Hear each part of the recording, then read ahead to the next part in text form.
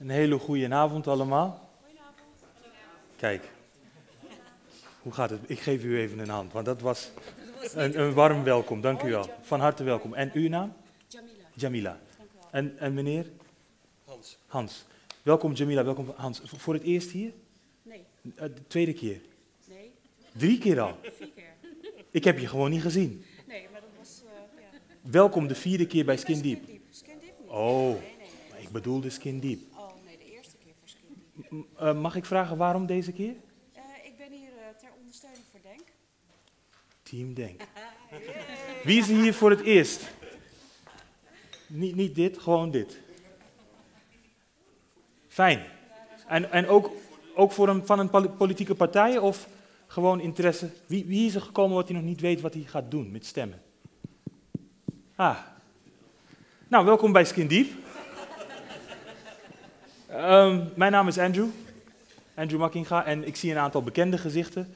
Een aantal eh, gezichten die ik nog niet ken. En daar ben ik heel blij mee. Want Skin Deep is een programma dat we hier samen met de Rode Hoed doen.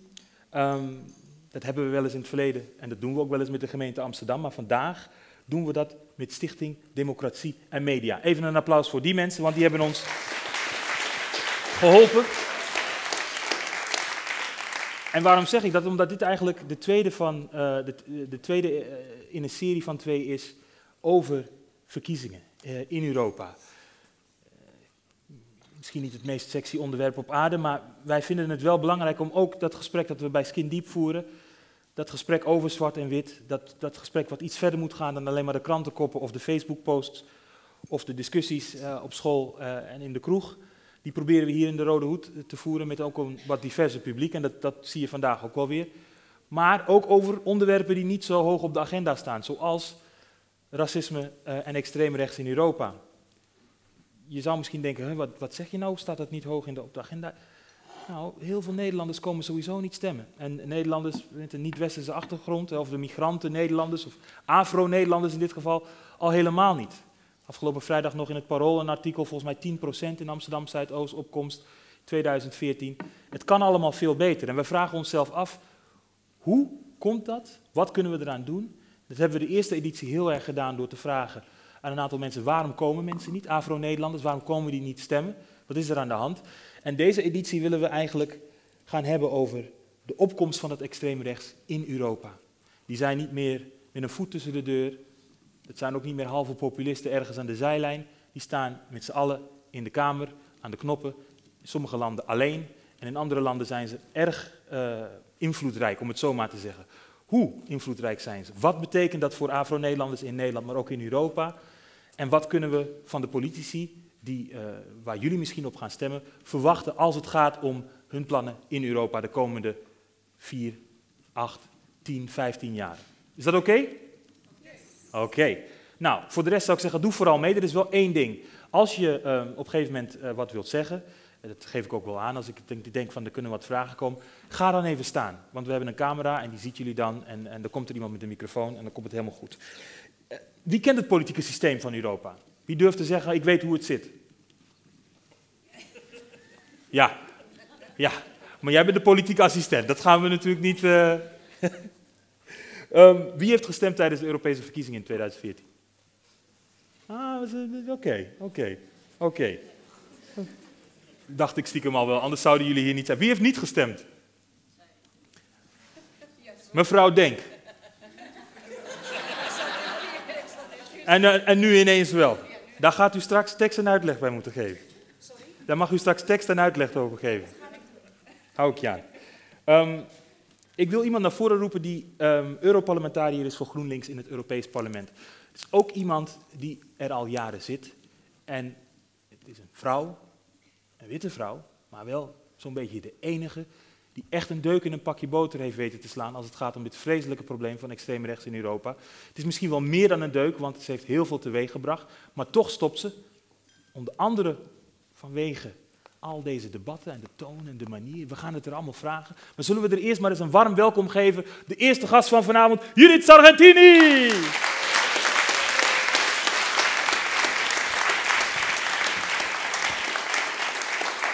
Ja, ga zitten Judith. Judith, ik zag een tweet dat jij op, op Schiphol stond. Ja, En eh, wat was daar aan de hand? ik kwam terug uit eh, Riga, waar ik eh, geholpen had bij de campagne voor een eh, progressieve partij daar. Eh, en dat is dus Schengen. Hè? Dat betekent dat je eigenlijk helemaal niet door paspoortcontrole hoeft. En wat me opviel is dat voorbij de bagageband. ehm, ehm, als je dan nog even door de poortjes moet, er staan ook altijd nog een paar douaniers. Ja. En dat is van de afdeling Nothing to Declare, hè, de groene en de rode. En ik merkte dat de hele stroom was wit en die liep zo door. Er was één zwarte jongeman en die werd gevraagd, goh meneer, waar komt u vandaan? Ja. Ik weet niet waar hij vandaan kwam, maar het moet Schengen geweest Ja. zijn. En ik heb daar een opmerking over gemaakt, want het viel me op. Ja, dat zijn, dat zijn van die dingen die je natuurlijk als je al jaren reist, en dat, dat doe je, dan zie je dat soort kleine cracks in de system. Eh, Is het iets wat je al, al, al een tijdje beangstigt of zorgen om maakt? Dat je, dat je racisme en di- discriminatie op deze manier tegenkomt in Europa? Ja, en eh, een paar jaar geleden, toen eh, eh, de vluchtelingencrisis begon, nadat wat we noemden, het is trouwens geen vluchtelingencrisis, maar een managementcrisis, maar oké, nadat wat toen nog de Arabische lente heette, eh, eh, toen er heel veel Tunesische jonge mannen probeerden naar Europa te komen, werd er opeens weer nieuwe grenscontrole ingesteld op Ja. Europese grenzen. En ik gebruikte elke week de trein van Amsterdam naar Brussel en terug. En mijn een van mijn medewerkers deed het elke dag. Die woonde in Ja, Rotterdam. En die was van Turkse afkomst, Turks-Nederlandse afkomst. En die moest heel erg vaak in coupés, waar die de enige eh, persoon van kleur was, Ja. zijn paspoort laten zien en de rest niet. Ik heb er al vaker vragen over gesteld. En er wordt altijd van gedaan van het soort, eh, u begrijpt niet op welke manieren wij selecteren, dit, wij hebben hier een neus voor, of het is vingerspitsengevoel. Ja. Eh, dat, het mag niet. Het mag niet. Het is etnisch profileren. Ja. En ik zie er ook niet zo. Hè, ik ben inderdaad wit en nog blond ook. En ik zit ook nog heel vaak eerste klas. Mij gebeurt het nooit. Maar zou ik jou dan, eh, vind je dan dat je vecht voor een inclusiever eh, Europa door dat soort dingen te doen? Doe je dat bewust? Ik doe dat bewust. Ik deed het trouwens ook als gemeenteraadslid. Ja. Etnisch profileren door de politie in Amsterdam. Weet je, als ik dan zie dat je sinds 2009 in het parlement zit en dan schrijf je vorig jaar geschiedenis. Binnen- en buitenland weet, wisten mensen wel wie je was, maar dan gebeurt er iets omdat het Europees Parlement met twee derde eh, meerderheid jouw rapport over de afgeleidende rechtsstaat in, de E- in EU-land Hongarije eh, aanneemt, een unicum. En tegelijkertijd kondig je je vertrek aan en dan zeg je, ik vind die debatten zonder resultaat niet leuk meer. Vooral over datzelfde asiel en migratie waar je het net over had. Ja. Dat klinkt een beetje ja, deprimerend. Weet je wat het is? Ik ben nu 20 jaar volksvertegenwoordiger. Eerst Ik dacht een terreuraanslag van rechts misschien. Ben ik te expressief. Want het wordt me wel verweten. Misschien, ik denk, misschien zit ik ook op de, ik zit half op de zender. Oh, oké. Oeh. Neem even een slokje water. En, en nu doe ik het weer. Ik doe het weer. Ik ben dus te expressief. Het komt helemaal goed. Ehm, Ja, ik zei Help het was een beetje, ja, ja, god. Ik zei het is een beetje deprimerend. Ja. ja. nou, ik doe dit nu 20 jaar. Ja. En ik vind het ongelooflijk leuk. Ehm, en ik doe het voor de knikkers, dus voor het resultaat. Ja. Maar ik ben bang dat ik afstomp. En dat ik op routine ga werken. Ja. En ik heb hi, ja, allerlei eh, mooie dingen gedaan. Maar voor asiel en migratie zijn we al jaren bezig eigenlijk alleen maar erger te voorkomen.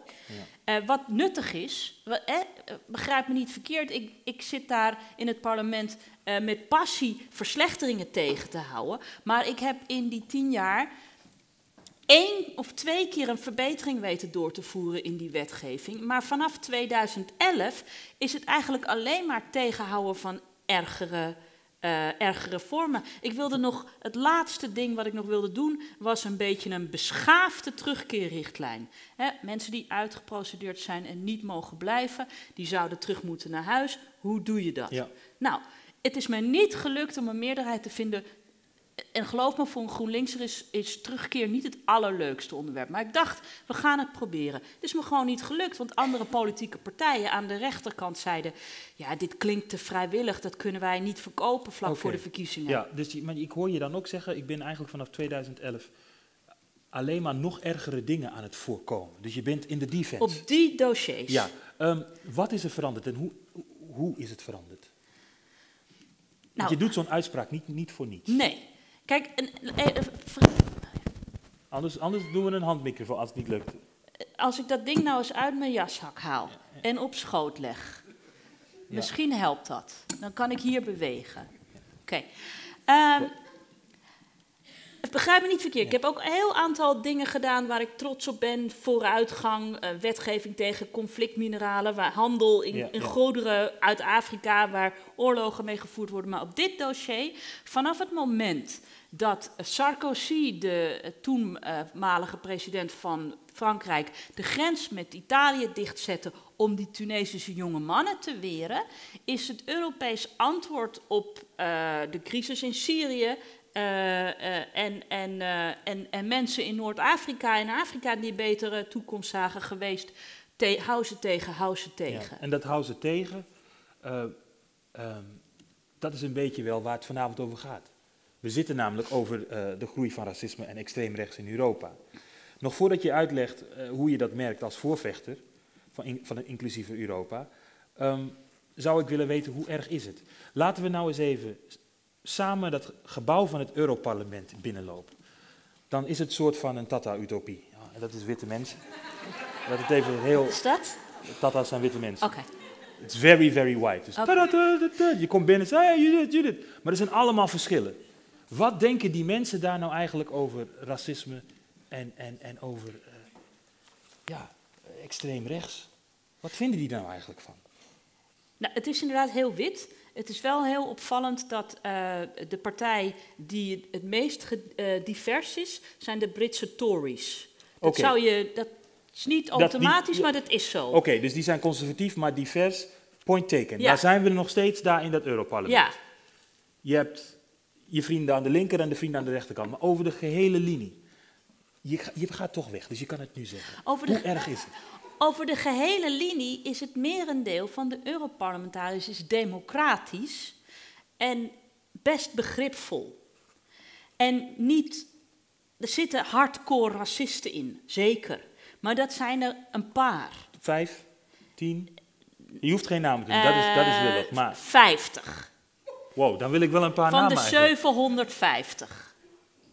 Dus dat is een serieus aantal. Waarvan jij durft te zeggen, nogmaals, die namen, dat, de- mensen kunnen dat wel ontdekken.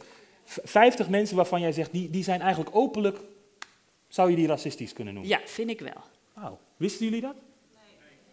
Kijk, dat vind ik nou een van de redenen waarom we vanavond hier zitten. Want heel hoeveel mensen zitten er van de PVV en, eh, en Baudet in de Tweede Kamer momenteel? Ja, ja. Van de 150? Oké, Dus ja, ik vind het veel. En, dus, en er komt ook nog bij eh, eh, dat mensen dan. het komt er altijd gratis bij. Hè? Homofobie komt er gratis bij. En eh, vrouwen. Ja. seksisme komt er allemaal altijd ja. gratis bij. Oké, maar dan, dan hebben we die 15. Maar dat- 50. 50, oh ja, 50. Ja, ik, zat, ik wil het gewoon niet geloven. Maar goed, dan hebben we die 50 waarvan je zegt, die zijn openlijk. Die zijn hier met hun hand omhoog. Wat merk je in alle jaren dat je daar zit als het gaat om dat extreem rechts? Want die anderen, die niet zo openlijk racistisch zijn, wat doen die dan wel? Wat voor wetgeving wordt er voorgesteld? Wat merk jij in de wandelgangen? Kijk, die 50 openlijk enge mensen, Ja. die doen inhoudelijk niets. Die stemmen en die stemmen mee of stemmen tegen. Ja. Het zit hem in de, vind ik, in de middenpartijen, dus de Christendemocraten met name, en die Britse Tories en hun Mhm. omgeving, die zijn centrumrechts, maar niet per se extreem, die voorstellen doen die, ehm, die gewoon niet inclusief zijn. Die zijn niet eh, ze zullen het zelf nooit racistisch noemen, maar als je bijvoorbeeld zegt, eh, je moet als lidstaat zelf kunnen kiezen welke vluchteling je hervestigt, en dan mag je ook de keuze maken om te zeggen, dat moeten gezinnen zijn, geen alleenstaande jonge mannen, en wij prefereren christenen boven moslimgezinnen. Ja. dan Ben je eigenlijk wordt het wel tricky, toch? Ja, ja, ja. Heb je nog meer van dat soort dingen? Die, die, want het is heel, heel, heel venijnig. The devil is in the detail. Ja, en het, en het, ehm, en het, eh, gaat, het beweegt mee met, ehm, met, met andere dossiers. Dus je kunt het zo nu en dan, kun je bijvoorbeeld iets positiefs doen, omdat je bijvoorbeeld insteekt op rechten van gehandicapten.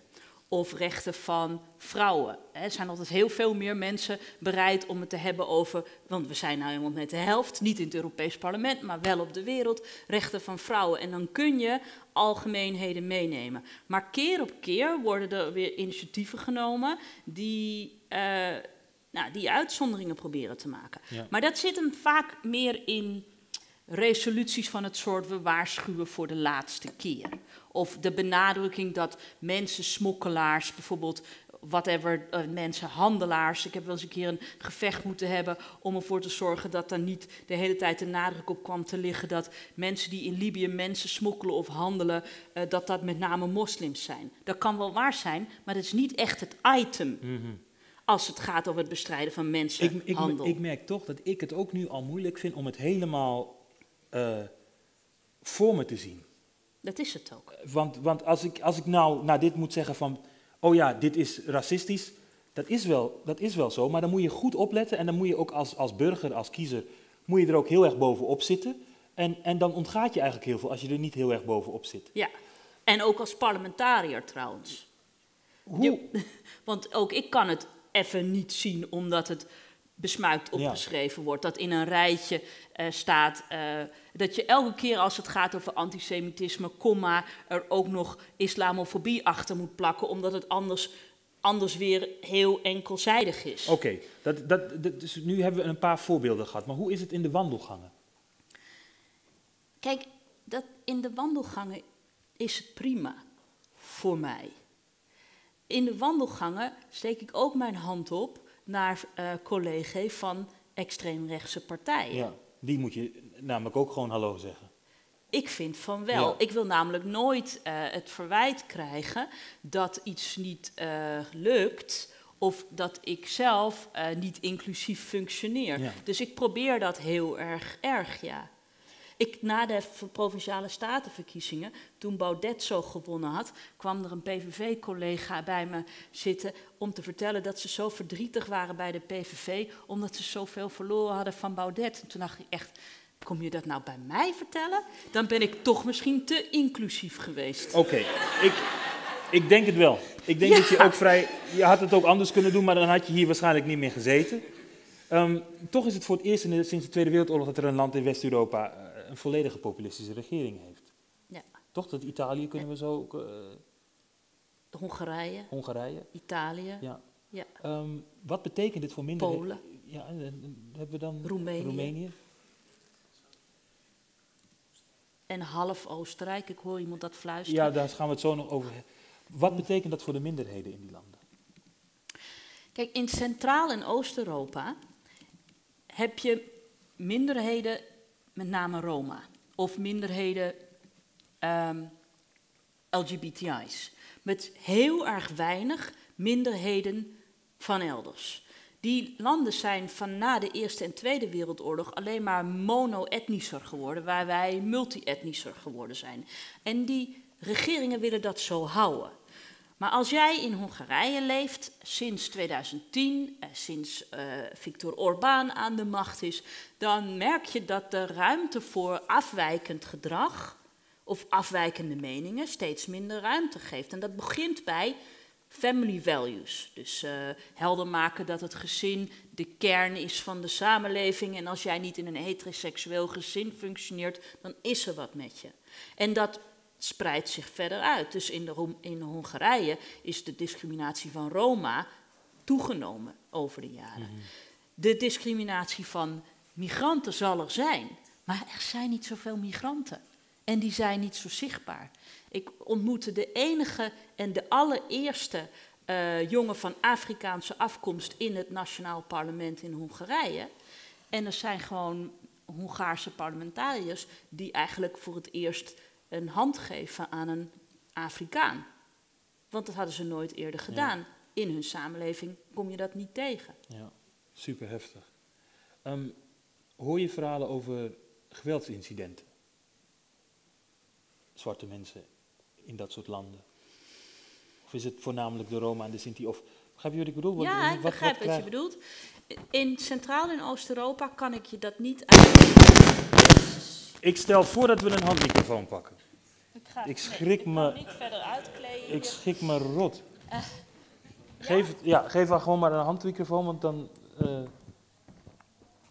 Zo, deze is uit. Ik hou hem wel op schoot, maar hij is uit. Ehm, heel erg bedankt en sorry hiervoor. Geeft niks hoor. Eh, ik kan je dat niet uit Ja. eerste hand vertellen. Voor Italië is dat wat anders. Ja? Eh, ja, ik denk ook dat mensen die verhalen wel kennen over eh, de manier waarop eh, migranten en vluchtelingen die zich met bootjes en zo naar Ja, de ja, overkant bewogen hebben, bejegend worden. En hoe de overheid bijvoorbeeld om een vliegtuig met terugkeerders te vullen, denkt nou, nu nemen we de Nigerianen. Ik heb ook een keer in Griekenland bij een, bij een politiebureau gestaan waar, ze, waar vluchtelingen asiel konden vragen. Toen ging het andersom. Daar stonden allerlei mensen te wachten. Iraniërs, Irakezen, Afghanen en ook een heleboel Congolezen. Ja. En toen namen ze alleen de Congolezen, die kun je zo makkelijk herkennen, de Congolees van de Af- Afghaan. Dat is wel ja. helder, want daar wisten ze mee om te gaan. Dus Ah, Wat, je hebt ook wel gezegd dat, dat, ehm, ehm, dat je het je collega's een beetje verwijt. Gebrek aan daadkracht. Ga Ja. dat straks ook aan de andere politici vragen. Ehm, en ik zeg toch ook even Gro- GroenLinks. Waren jullie er altijd als de kippen bij? Of heb je intern daar ook wel gezegd, jongens, dit moet, moeten we beter doen? Ehm, in het Europees Parlement denk ik dat we er altijd bij geweest zijn. En mijn voorganger Katelijne Buitenweg was de voortrekker voor een Europese wet tegen Ja. discriminatie op alle vlakken. Breder dan alleen maar op de werkvloer. Die ligt te verpieteren bij de Raad Ja, van ja. Ministers. Daar komt niks van terecht. Maar in Nederland moeten we natuurlijk elkaar scherp houden. Het heeft mij ook wel even gekost voordat ik eh, het Zwarte Pieten debat zelf een plek heb gegeven. ja. Dus daar, daar zijn Dat- stappen de- te maken. daar zijn altijd stappen te maken. En je collega's in Europa? Ik denk mijn groene collega in Europa, ehm, dat je die niet kunt verwijten niet voor minderheden op te komen. Maar iedereen heeft zijn eigen prioriteiten. Dat moet je me toch even uitleggen, want er is iets met, je bent dan een groen, Ja, maar dan heb je groene vrienden. Maar daar zitten, bij die groene vrienden zitten dus misschien ook wat partijen die niet helemaal aan jullie kant staan. En aan de rechterkant ook. Dus dat de D66 is ook in Europa vrienden met een partij van een ander land die dan misschien niet dezelfde standpunten heeft te- over migratie of over racismebestrijding als, als D66 of GroenLinks in dit geval. ja, Begrijp je me? ja ik begrijp je heel wil- goed. Wil, wil je het even uitleggen? Want Ja. dat is ook weer zoiets wat zo ingewikkeld is aan Europa, vind ik. Nou, het eigenlijk is niet zo heel erg ingewikkeld. Je, ik vertegenwoordig mensen die op GroenLinks gestemd hebben in Nederland in het Europees Ja. Parlement. Maar wij zijn met z'n tweetjes. Bas Eickhout en ik. Dus ik zit in een fractie. En heel veel mensen denken dat ik met 26 Nederlanders in een clubje zit. Nee, die zitten allemaal bij hun eigen fractie. En eigenlijk is het in Europa juist nog heel klassiek, waar dat in Nederland wat minder is. Je hebt christendemocraten, je hebt liberalen, je hebt sociaaldemocraten, je hebt groenen. Dan heb je oud-communistisch, zou ik zeggen. En, eh, en je hebt ook nog extreem rechts in vormen en maten. Dus eigenlijk is dat heel klassiek. Ja. Maar hoe meer mensen je samenpakt, van oost naar west, van noord naar zuid, hoe, hoe meer verschillen er zijn. En sommige verschillen zijn prima te overbruggen. Ehm, Fransen en Nederlanders hebben echt een heel ander idee over hoe je een economie runt. En wat voor een soort pensioenen je moet. eh, hè, wat, wat, een, wat een pensioen behelst. En sommige dingen zijn helemaal niet te overbruggen. Eh, en die gaan over et- eh, ethische kwesties. Eh, en discriminatie is er daar één van. En wie zou je dan daar weer op willen aanspreken? Waar is een gebrek aan daadkracht? Ik denk dat de grootste gebrek aan daadkracht in het Europees Parlement de laatste tien, eh, acht jaar bij de Christendemocraten lag. Want die hebben zo'n Viktor Orbán en zijn partij vanaf 2010 in hun midden laten bestaan. Ja. En altijd zeggend, en daar geloof ik niet in, weet je wat, als we nou maar ze dicht bij ons houden, dan hebben wij een matigend effect op ze. En pas En bijvoorbeeld, Viktor Orbán wou graag de doodstraf weer invoeren. Heeft hij niet gedaan. Voilà, matigend effect. Ja, ik geloof dat niet. Ik denk dat je hiermee uh, dat soort partijen en dat soort uh, regeringsleiders eigenlijk de ruimte geeft om steeds een stap verder te zetten. En datzelfde geldt voor een regering in Oostenrijk van christendemocraten en extreemrechts. Dan geven die christendemocraten geven extreemrechts een vorm van goedkeuring, een legitimiteit. Maar, begint, begint, het niet al met dat je in de, in de hal die lul een hand geeft? Ja, maar nee, eigenlijk niet. Want kijk, het heeft geen zin om. Ik wil effect sorteren. En het heeft geen enkele zin om. Ik heb een collega, een, een, een Britse collega, en die zit zo in elkaar. En die uh, heeft ruzie al jaren met Britse collega's van uh, hele UKIP en erger. En die hebben altijd een of andere hele nare vlag op de gang hangen bij hun kantoortje. En zij trekt iedere week die vlag van die punaises. ik denk niet dat het zin heeft. Om dat te doen. Ja, I, I get your point. dus ik doe dat niet. Ik probeer niet ik probeer niet met deze mensen een borrel te drinken. Maar ik ben wel beschaafd in de omgang. Goed, ik, ik wil nog een paar vragen stellen en dan uh, het publiek ook de ruimte geven. Um, er zijn groeiende problemen, maar het stemmen dat gaat niet echt heel erg omhoog. Om je een beetje een voorbeeld dicht bij huis te geven, de Skin Deep is meestal heel erg vol, uh, zelfs uitverkocht. En de afgelopen twee edities dit is echt al een stuk meer, maar de vorige waren ook heel weinig mensen. En we hebben toch het idee dat dat ook te maken heeft met het onderwerp. Namelijk verkiezingen. Europese verkiezingen. Europese verkiezingen, ja. ja. Waardoor denk je dat dat komt? Ja. Ja, deze vraag wordt me al tien jaar gesteld. En ik ben natuurlijk totaal verprutst, want ik begrijp niet dat je niet zou gaan stemmen. Uh, en dat komt gewoon, het is de beroepsdeformatie waar, ik, uh, waar ik in zit. En ik zou ook nu zeggen, het wordt alleen maar belangrijker. Ik merk, waar ik tegenaan loop, is dat het Europees Parlement, hoe zagrijnig ik bijvoorbeeld word over collega's en hun standpunten over asiel en migratie.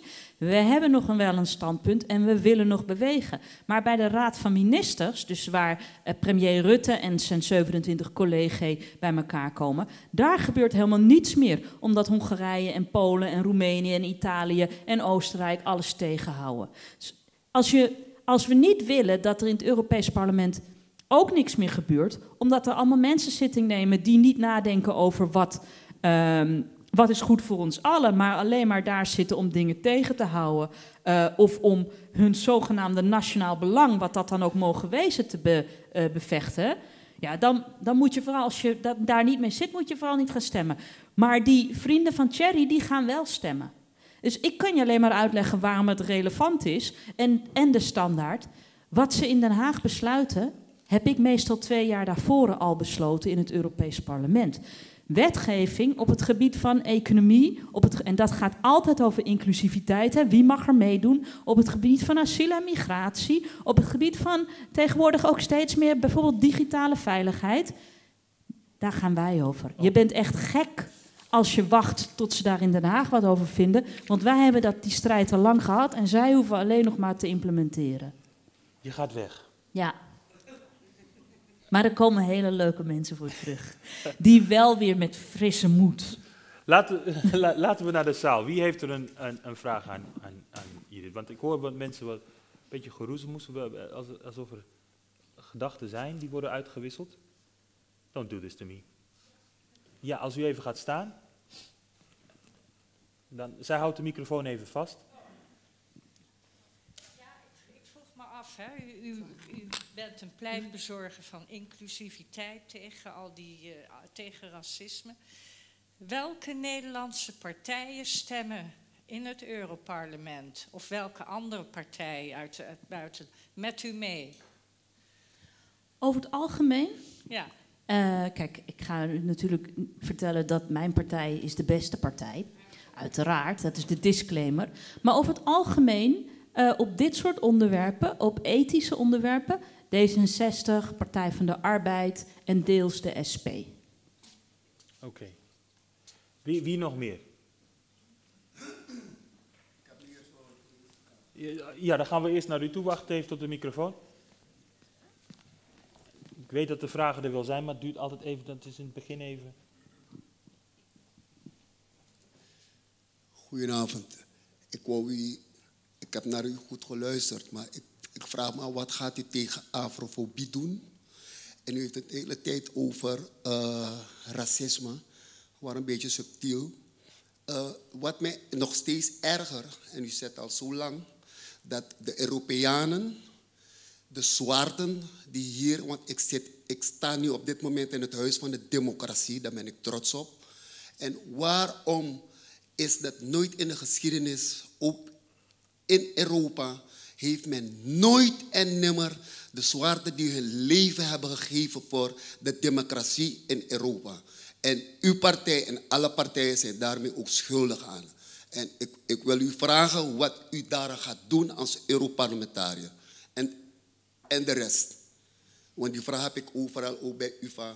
En ik wil van u horen wat u daar, want het is al jaren dat ik dit nooit sinds al 70 jaren dat de zwarten die hier een leven gegeven hebben, van wat u op dit moment, zelfs mijn oom, mijn oma's broer die in, in, in de Nederland het omwikkeld om de Nederlandse vlag en nog steeds geen erkenning heeft gegeven. De 200, meer dan 200 um, uh, schepen, scheepslieden Zowel Surinamers als Antillianen hebben nooit erkenning, nooit hebben ze daar op, op de dam en nog nooit erkenning gekregen.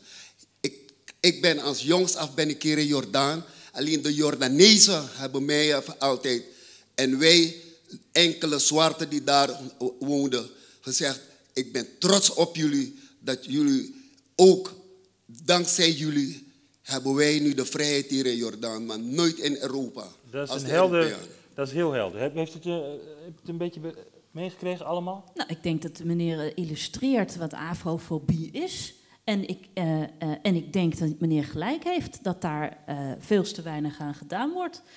en ja, ik, ik denk dat we dat alleen maar met z'n allen kan doen. En overigens mag ik dan zeggen, gaat u vooral stemmen en zorg dat er mensen in dat Europees parlement komen die daar wel wat aan willen doen. Maar overschat ook niet wat het Europees parlement is. Hè. Die kan niet mensen hun hoofden veranderen. Dat kan ik niet. Ja. Maar wat, wat, wat vind je van, want daar heeft hij het een beetje over, ook wat je zelf hebt kunnen doen. En dat is ook de vraag ook naar de anderen straks. Dat ook in je, je verhaal net, heel veel Roma, Sinti, Afro-Nederlanders, skin deep, gesprek over zwart-wit, die Afro-Nederlander of Afro-Europeaan, die komt niet echt aan bod. En het kan wel zijn dat, die niet zo, dat, dat ze met niet genoeg zijn, maar sinds wanneer is het aantal uh, bepalend of je wel of niet over een, een, groep mensen praat? Daar heb je gelijk in. En, en, ik denk niet, ik bedoel... De... niet alleen naar jouzelf, hoor, maar je zit hier nu toevallig. Ik, ja, dat vind ik helemaal niet erg. Um, alleen ik vind, de, ik, ik kan met een verhaal komen over initiatieven die het Europees Parlement genomen heeft om afrofobie bespreekbaar te maken en intern zichtbaar te maken. Maar dat, dat zijn, ik vind dat goed, maar ik vind dat randverschijnselen. En waar ik mij tien jaar lang mee bezig gehouden heb, is wetten en wetten veranderen. Ja. En als je die, ik, als ik ik denk dat een goede wet automatisch inclusief is. Er zijn geen initiatieven die je op wetgebied die je specifiek maakt om een bepaalde etnische groep uh, uh, te, en als je te benaderen. En als je dat wel doet, dan is die wet waarschijnlijk echt heel eng. Oké, maar zullen we het dan omdraaien? Mag ik je dan verleiden om te zeggen van, goh, ik ga daar nu weg. Weet je wat me opvalt? Als het over de rolstoel gaat, dan doen ze altijd dit en dit en dat. En dan moet je dat en dat doen. Wat zouden Afro-Europeanen moeten doen om, om, om zaken te agenderen? Los van stemmen. Moeten we gewoon met een stormram op dat gebouw aflopen? Uh, uh, moet iedereen op denk? Kan je ook gewoon zeggen als GroenLinkser, als het goed is, is het goed.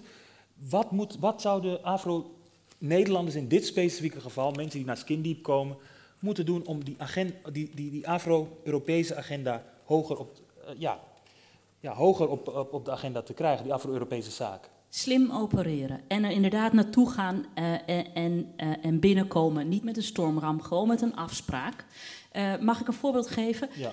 Nederlandse eh, Marokkanen hebben enorm goed, en eh eh, Kati Piri van de Partij van de Arbeid kan er ook veel over vertellen, hebben enorm goed het probleem in de RIF op de agenda gezet. Hè. In de RIF worden mensen momenteel enorm onderdrukt door de regering en de leiders van de protestbeweging in de Marokkaanse RIF zitten voor twintig jaar achter slot en grendel. Het Europees Parlement heeft die leiders voorgedragen voor wat heet de Sakharovprijs. Dat is de mensenrechtenprijs van het parlement. Het onderwerp is geagendeerd geraakt. Dat hebben die mensen heel slim gedaan door middel van eh, Marokkaanse diaspora in Nederland, in België, eh, bij elkaar te roepen en ons allen heel gericht te benaderen. Doe dat. Ja. En ik weet dat de kick-out Zwarte Piet mensen dat een paar jaar geleden ook gedaan hebben en het resoneerde. Ja, en, en, en, dan, en dan toch nog even terugkomend naar jouzelf en de linkse en de progressieve partijen.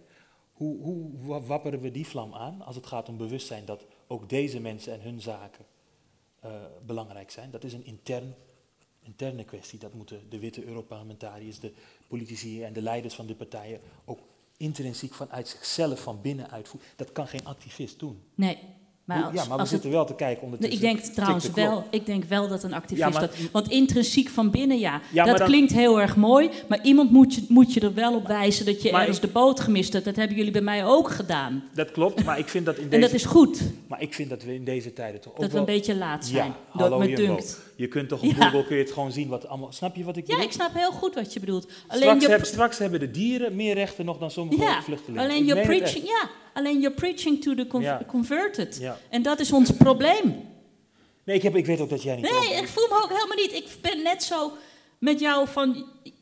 Weet je, mijn palet is een beetje Ja. leeg. Dat klinkt heel slap, maar mijn palet is na twintig jaar een beetje leeg. Ik moet het weer opnieuw vullen met nieuwe kracht en nieuwe energie. Dus het zijn de. de men, ik krijg langzamerhand. En dat is echt slecht voor een politicus. Dat moet je gewoon niet meer bij mij. Heb ik al geprobeerd, werkt niet. Nou, dat zijn de mensen die je niet wil hebben. Heb dat- ik al geprobeerd. Oh, dat is lukt duidelijk. niet. Dus ben ik momenteel. Dat is niet oké. Je stopt. Eh, er was nog iemand die wat, eh, wat wil vragen. Meneer, daar, kunnen we daar een, een, een eh, microfoon naartoe krijgen? Ja, dank voor het woord. Ehm, we hebben het hier over racisme. Ehm, nou is de definitie daarvan ehm, het intrinsiek minderwaardig achten van bepaalde mensen omdat ze een bepaald, bepaalde huidskleur hebben bijvoorbeeld. En u noemde u net zo'n Sarkozy, hè, die die grenzen dichtgooit tussen Frankrijk en Italië. En dan ben ik benieuwd, denkt u dat dat racisme is of is dat gewoon ordinair eigen belangen beschermen? Goeie vraag. Ik denk niet dat Sarkozy racistisch was. Ik denk dat Sarkozy bang was voor zijn support thuis. En dat hij dit als signaal wilde afgeven dat hij er bovenop zat. Eh, ik denk niet dat dat eigen belang goed begrepen is. De Nederlandse marechaussee heeft een tijdje lang aan de Oost- en, de, en aan de Duitse en de Belgische grens geselecteerd op nummerborden uit Oost-Europa. Op zoek naar criminelen. Met als idee dat een crimineel wel een Oost-Europees nummerbord zou dragen. Ik denk dat dat misschien verkoopt, maar dat dat helemaal niets te maken heeft met begrepen eigenbelang. Duidelijk antwoord. Ik wil je als laatste vragen.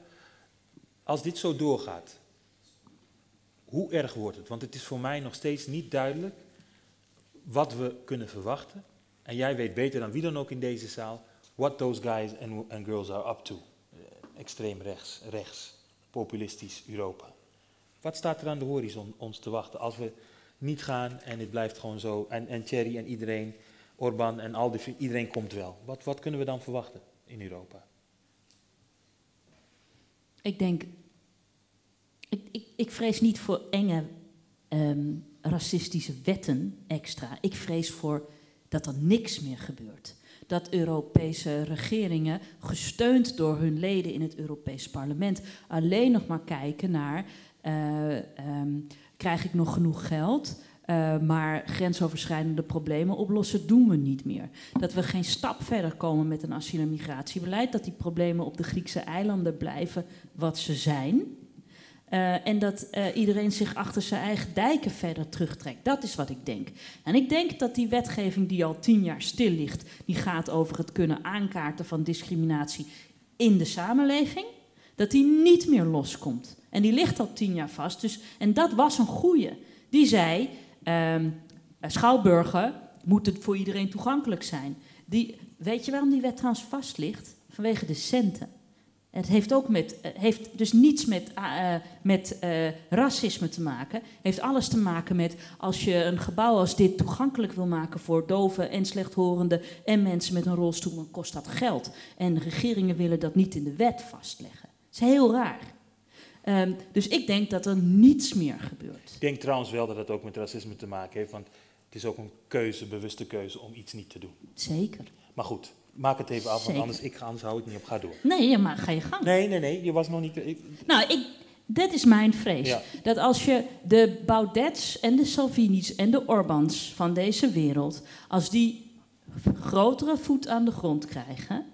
dat er dan een Europees parlement ontstaat... wat niet meer de ruimte neemt voor nieuwe initiatieven. Omdat iedereen zegt, ja, dat kost geld... Uh, en wij zorgen alleen maar voor onze eigen mensen in ons eigen land. En de eigen mensen heeft dan een heel erg nauwe definitie. Okay. Uiteindelijk, als je um, vallen de mensen die afwijken dan altijd overal tussendoor. Wat voor vorm van afwijken dan ook. Dankjewel. Um, tot zover de zendtijd van de linkse politieke partij. Nee, dat was een grapje. Um, een applaus. En, en ik wou daarbij zeggen ik zou graag straks aan het eind nog wel even van je willen horen wat je vindt van wat de anderen hebben gezegd. Ook omdat we met jou zijn begonnen, met jou goedkeuren. Nog één keer een applaus voor Judith.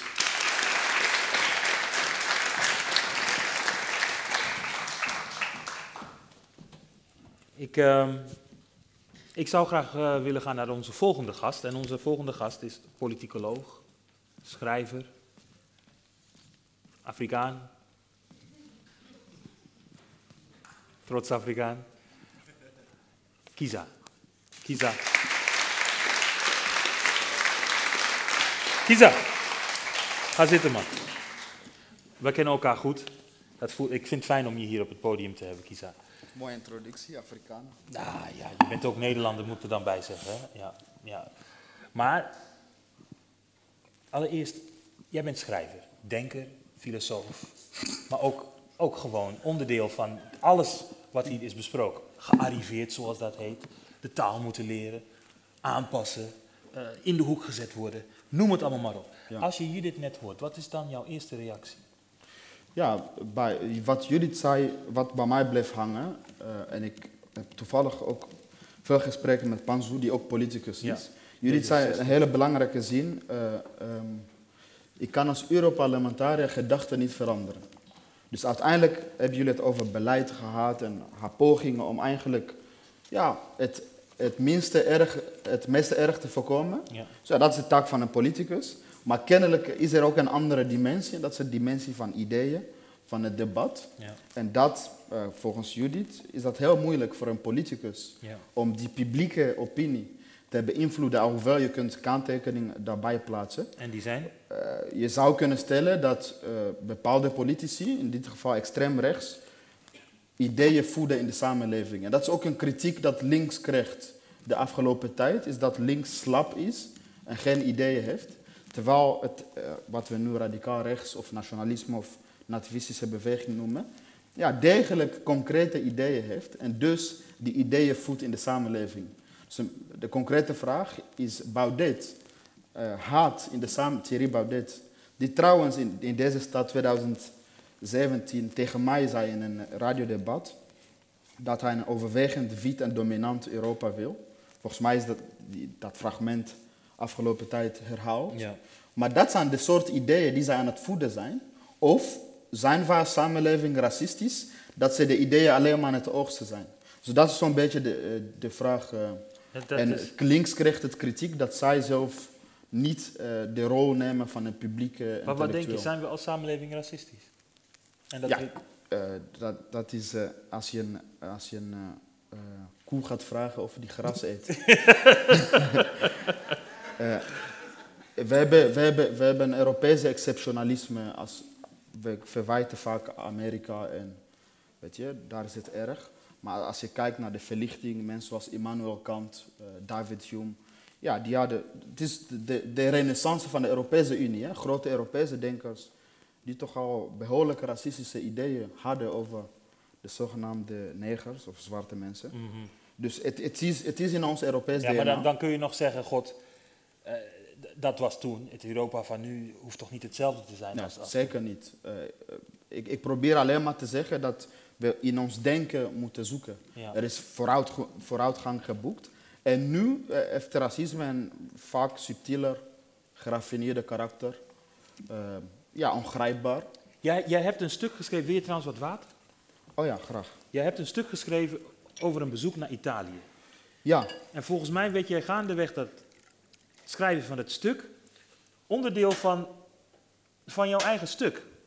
Ik, ja ik, werd een personage van mijn Ja, een reportage. personage van je eigen reportage. Ja. En, en misschien kun je dat even uitleggen, want jij stond volgens mij, je was op bezoek bij, Ik was in de groep. Ik, ik, ging, ja, ik, ik heb ook mezelf op meerdere locaties la- Ja. geplaatst.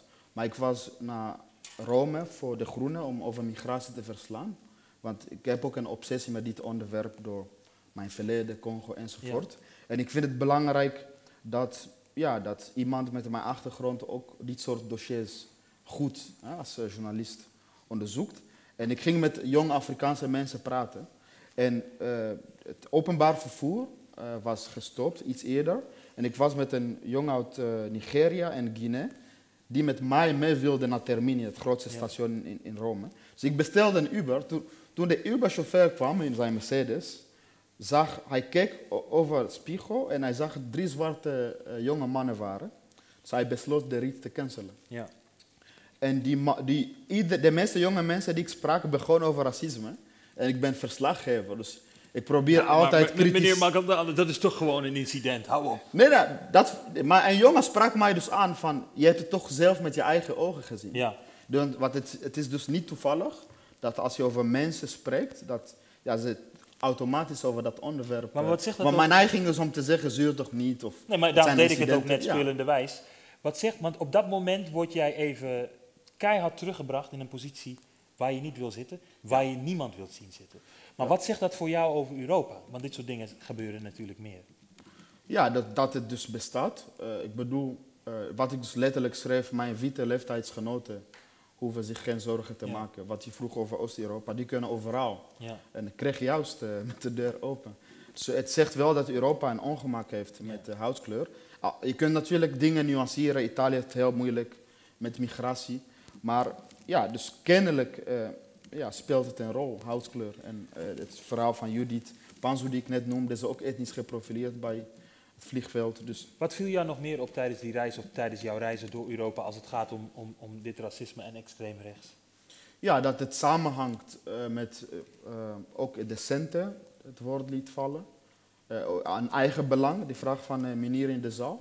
Dus het gaat vaker ook over ja, gewoon ja, politiek en niet per se raciale ideeën. Dus dat is zo'n beetje mijn gevoel. Ja. Dat het samenhangt met de economische situatie van een land en de onzekerheid, want dat, daar moeten we het ook eh, gaan zoeken. Hè?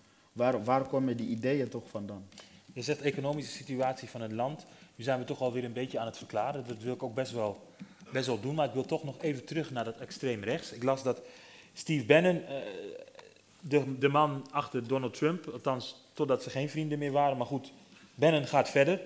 Die wil een populistenschool openen in Italië waar de gladiatoren van het populisme eh, gevormd worden. En het gaat dan om het bewaken van de joods-christelijke eh, Europese traditie. Volgens mij heb ik dat eens een keer. Was dat Mark Rutte? Nee, in ieder geval. Iemand in Nederland roept dat ook. Dit zijn allemaal van die initiatieven waarbij je toch het gevoel zou kunnen krijgen. Het Ja. is serieus en het wordt groots aangepakt. Wat zijn jouw gedachten daarover? Ja, dat is ook een oude klooster, hè? Dus om dat eh, beeld te ja, schetsen. ja. Dus eh, nou ja, dat, wat, daar begonnen we eigenlijk over, dat rechts echte ideeën heeft. In Nederland, de meneer die u noemde, die wil ook een nieuwe elite vormen. Eh, dus eh, ja, het zegt dus dat het nationalistisch verhaal, of nativistisch verhaal, hoe je het ook wil noemen, ja, een politieke filosofie aan het ontwikkelen is, die volgens, ja, als het gewoon observeert, ons een beetje terugbrengt in de tijd. Dus eh, onderscheid maken. Vaker gaat het over cultuur tegenwoordig. Want onze cultuur is superieur. Ja, dus dat, zo, zo zou ik het wel begrijpen. Dat, Ik maakte net dat, er voedings, dat ze een nieuwe idee aan het voeden zijn. En zo'n school Ja. is daar een goede voorbeeld van. Eh, De zomer- de winterschool van Thierry Baudet ook. Dus er is oorlog. En eh, om die oorlog te winnen is het een intellectuele oorlog. Gramsci is de vijand. eh, Fanon is de vijand. Al die linkse mensen die onze gedachten infiltreren zijn de vijanden. Wij moeten met nieuwe ideeën komen. Om al die mensen ja, te wij- bevrijden. Hebben wij dan wel door dat het oorlog is? Nee, ik- Als ik jou hoor, dan hebben zij door. eh eh, Bennen, die zitten in een oorlog met helm en pakken en Ja. een klooster. Maar wij zitten thuis, we weten nog niet of we gaan stemmen. we willen naar de nieuwe film. Ja, van, maar eh, weet, weet je wel, is, van Elton John, hoe heet hij nou? com- Comfort, hè? Je ziet dat mensen, progressieve mensen in Nederland ook, die hebben bepaalde dingen gewoon vanzelfsprekend aangenomen. Racisme is slecht, maar het, het oefenen in argumentatie, dat ontbreekt vaak. Dus eh, je zou kunnen zeggen dat Euro- Europa en Nederland al behoorlijk progressief zijn, dat bepaalde ideeën over inclusiviteit en mensenrechten de norm zijn geworden. En deze mensen zijn een beetje ja, aan de zijlijn en zij proberen nu de, de mainstream ehm, door te breken. En helaas wordt hun gedachte ook gefaciliteerd door soms de hongerige media. Eh, overmorgen vindt hier een debat plaats met Thierry Baudet. Oh, sorry, het gaat trouwens bij Pauw plaatsvinden. Eh, omdat Pauw het zo spannend vond om die man een podium te geven. Dus wij zijn, onze politieke elite en de media-elite, zijn een soort doorgeefluik ook geworden Ja. van de ideeën. Niet meer de gatekeepers, die dus ja, filteren eigenlijk, is dit de norm? En, dus, en dat is dus een intellectuele oorlog die gaande is. Ik, En het mainstream of het midden eh, faciliteert dat langzamerhand. ik wil dan toch nog even aan je vragen. En dan ook. eh, nou ja, er zijn mensen, daarom maakte ik net de grap tot zover de zendtijd voor de linkse politieke partijen, die zeggen. eh, Makinga en al die mensen van Skindiep en al die mensen zoals Kiza, die zeggen dat, dat er een probleem is. Die lullen, want het is gewoon vrijheid van meningsuiting en wij moeten dit kunnen zeggen. Ja. Met andere woorden, het is een totale non-discussie. Er zijn afgelopen zondag zelfs bij Buitenhof, zei iemand, het is eigenlijk wel goed dat die populisten er zijn, want nu gaat Europa eindelijk in discussie. Ja, maar dat, dat Het was, we moeten blij zijn. Wat heb jij daarover te zeggen dan?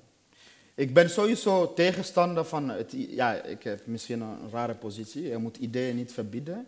Je moet over alles kunnen, kunnen beargumenteren. Ik zou zeggen, progressieve mensen moeten oefenen in hun argumentatie. Dus als jij een keuze zou hebben, Andrew, om iedereen een pilletje te geven, zodat ze niet meer racistisch zouden worden. Ik weet niet, meer- ik weet niet wat je zou doen, maar ik zou het niet doen. Want ik wil dat mensen overtuigd worden. En als links of progressief geen ideeën meer heeft, ja, dan gaan wij verliezen. Dus ik zou zeggen, organiseer ook winterscholen. Eh, train mensen om met betere argumenten... winter. Ik heb een winterdepressie. ik, wil naar, ik, wil, ik wil terug naar huis dan. Nee, ja, je moet weten wat er in de samenleving leeft. Dus Ja. ik, ik ben, ik, je moet niet overgevoelig zijn over eh, Ja. Eh, dat soort gekke ideeën, maar met betere alternatieven komen. Er komen zo meteen kandidaten voor het Europees Parlement eh, zitten, kandidaat Europarlementariërs. Mhm.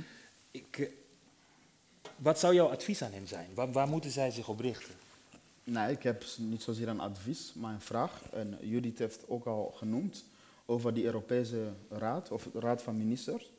Ja, het is toch wel opvallend, dat dynamiek binnen het Europese parlement, dat het parlement soms best wel progressief is op bepaalde issues. En als het eh, bij de Raad komt, ja, gaat het zo'n beetje in de lijn. Ik ben benieuwd naar hoe zij naar dat dynamiek kijken en hoe ze dat eh, ja, willen Oké. manoeuvreren. Goeie, goeie vraag. Dan Ja, wil ik, moeilijke vraag dan ook, hoop ik. Hebben jullie hem meegekregen? Dan wil ik nog even in de zaal, er is nog ruimte voor een, een vraag aan Kisa. Heeft iemand een vraag? Ja? We, we komen naar je toe. Eerst even...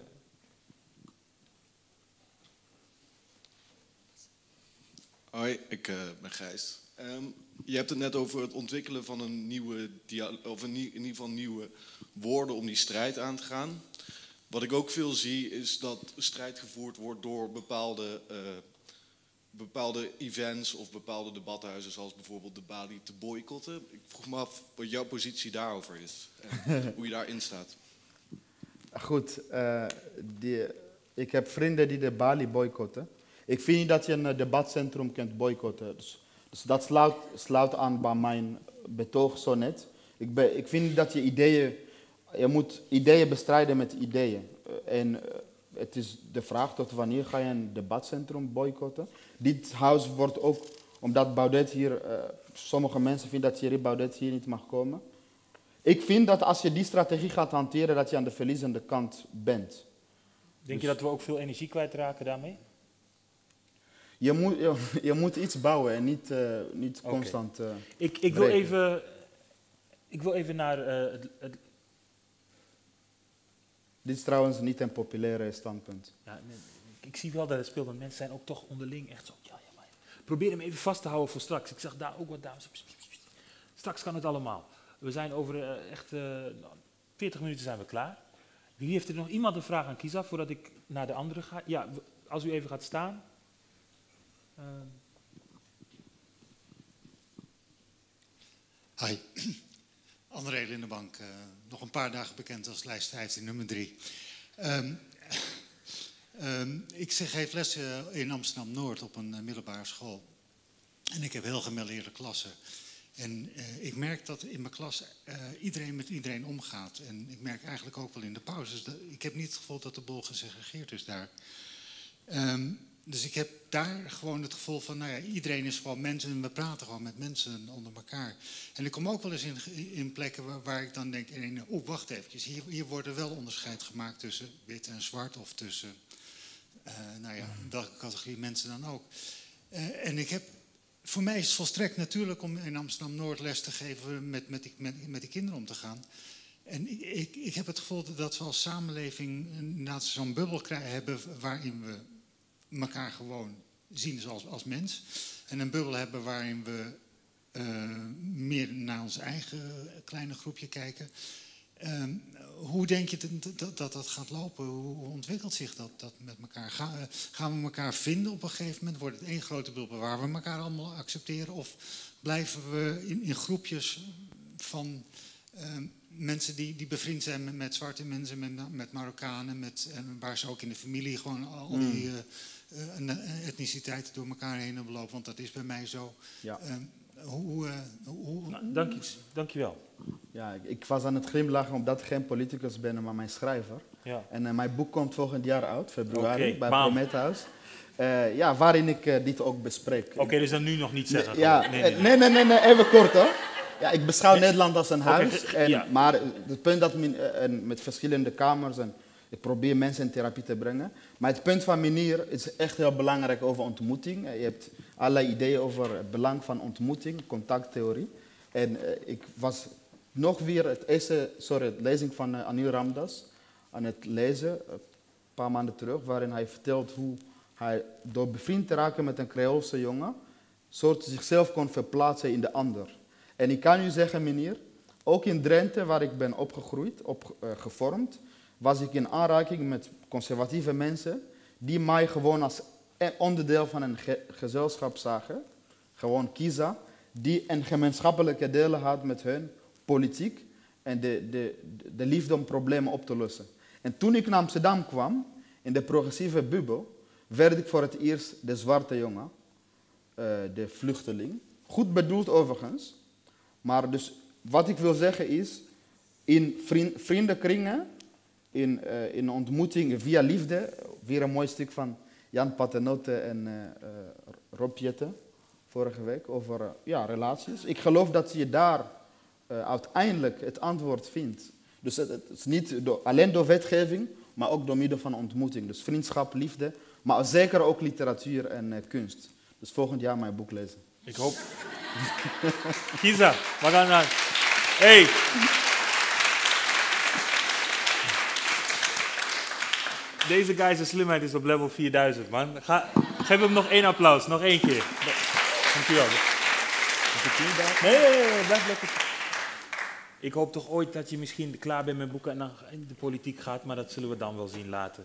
Eh, we hebben nog een half uurtje. Kijk naar politici. Misschien 40 minuten, het ligt er even aan eh, hoeveel we met z'n allen nodig hebben. Ehm, en het laatste gedeelte zou ik toch willen, toch willen besteden aan, eh, nou ja, de politici, de mensen om wie het gaat. We hebben er drie. Uh, Piri van de Partij van de Arbeid, Nadia El Ouadani, zeg ik het zo goed? Ja. En um, Samira Rafaela van D66, Nadia's van Denk. Allemaal uh, van harte welkom. Kom erbij.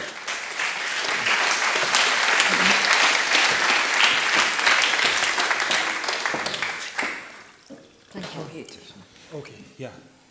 Dan, terwijl ik het water inschenk. Uh, Nadia, mag ik bij jou beginnen? Ik, ik, zeg trouwens tegen iedereen je. Yes, graag. Um, je hebt Judith en, en uh, Kisa gehoord.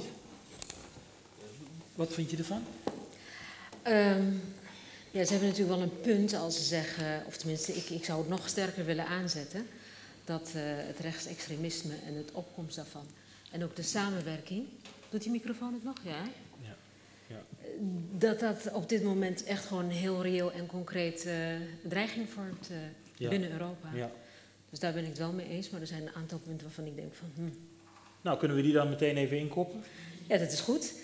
Um, nou ja, iets, iets wat natuurlijk heel dicht bij mij ligt als Marokkaan. Ja. Judith had het zojuist over hè, de aandacht die is gevraagd voor uh, de onderdrukking van de ravijnen. Ik ben het daar niet helemaal mee eens hoe dat gegaan is. Ik uh, heb het idee dus dat al de aandacht die er naartoe is gegaan, ik zit een beetje met mijn rug Ja, naar je toe, dat is ja. niet handig. Dat dat de situatie eigenlijk geen goed heeft gedaan en dat dat de betrokkenen ook geen goed heeft gedaan. Ik heb zelf jarenlang in Marokko gewerkt met het uh, ministerie van Justitie, maar ook met, met de rechtspraak. En uh, ik ben van mening dat er in dit geval, en andere mensen delen die mening met mij, dat er door die aandacht hè, die er gevestigd is, uh, betrokkenen een, zware straf, een zwaardere straf hebben gekregen dan, in, dan initieel het geval zou zijn. En ik vraag me ook af. Um, eh, PvdA heeft Dit wordt wel een hele andere discussie, maar ik, ga net het graag ik sta op aan. het punt om in te gaan. Je hebt mij gevraagd Ja. om hier een reactie op Ja, te ja, geven. ja, ja. Dus Ja, nee, nee. ik reageer daarop. Oké, dus dat, maar als het dan om. eh, ik denk dat ze het even voor, voor discussie als, als voorbeeld gaf van hoe agendeer je iets. Ja. En, en in, dit Maar geval daarvan, dat, daarvan zeg ik, als je het met de stille diplomatie doet, dan bereik je daar veel meer mee. Ik heb zelf voor drie mensen gratie verkregen door achter de schermen te werken, omdat ik mij het lot van die mensen aantrok. Maar mag ik en dan- die zijn vrijgekomen. Maar mag ik dan jou Ja. de tegenvraag stellen? In dit, in dit Zeker. geval, ik stelde haar de vraag ook Ja. later, dat ik gek word van het gebrek aan aandacht voor de afrofobie. Ja. En toen vroeg ik haar, wat zouden mensen moeten doen? Ze noemde activisme als een voorbeeld. Je zegt hier duidelijk, in de Marokkaanse context werkt dat activisme averechts. Heeft het averechts Maar we zitten hier bij een programma wat gaat over de Afro-Europese zaak. Ja. Daar heeft activisme tot nu toe het meeste bereikt. Misschien wel. Denk jij daar anders over? Zo ja, wat zou er dan wel moeten gebeuren? Want daar, Nee, ik- dat was denk, eigenlijk de vraag. Ik, ik denk niet eh, dat je, je... Je moet sowieso moet daar aandacht voor komen. En of activisme de enige vorm is, dat weet ik niet. Ik zou meer denken in de vorm van eh, bewustwording. In de vorm van creëren van onderwijs. Hè, dat je daar Ja. met, op een heel, in een heel vroeg stadium mee begint. Ehm, als ik het terug ga trekken naar mijn persoonlijke situatie... waarin binnen het ministerie van Buitenlandse Zaken Ja. is natuurlijk, hè, ik heb een fantastische carrière als diplomaat gehad, maar het is niet altijd een makkelijke weg geweest. Ja. En ik heb een tijd lang om die reden, en ik heb natuurlijk ook strubbelingen meegemaakt op het vlak van discriminatie, hele concrete discriminatie. Ja. En ik heb ervoor gezorgd, voor, eh, dat heeft mij bewogen om die diversiteitskar binnen buitenlandse zaken te trekken. Dat heb ik op een stille manier gedaan, maar ik heb wel hele concrete resultaten daarmee geboekt. Stille diplomatie dus. Ja. Ik wil even naar de andere, als het gaat om even een reactie op wat Kisa en eh, eh, Judith hebben gezegd. Eh, Cathy. Ehm, ik denk juist als je in het Europees Parlement werkt eh, en eigenlijk ziet hoe groot extreem rechts aan het worden is in Europa, dat je dat gevaar misschien veel meer ziet dan als je puur de Nederlandse situatie bekijkt. Dus eh, ik weet, het is geen prettige boodschap, maar ja, het beangstigt mij wel hoe groot ze aan het worden zijn. En wat je daartegen in kan brengen, dat is natuurlijk altijd de vraag, hè, wat is de strategie? We hebben altijd eh, discussies, gaan we nu al hun voorstellen altijd blokkeren? Zorgen we ervoor dat geen van hun mensen rapporten kunnen krijgen? Of beoordeel je het op de inhoud, waarbij je het 90% van de tijd natuurlijk oneens bent. Ik heb in ieder geval altijd een hele ongemakkelijk gevoel bij. Eh, ik heb zelf, ik ben wit, ik heb nooit te maken gehad met racisme. Eh, ik weet wel in het land waar mijn ouders geboren zijn, waar ik geboren ben in Hongarije, een ja. extreem rechtse partij.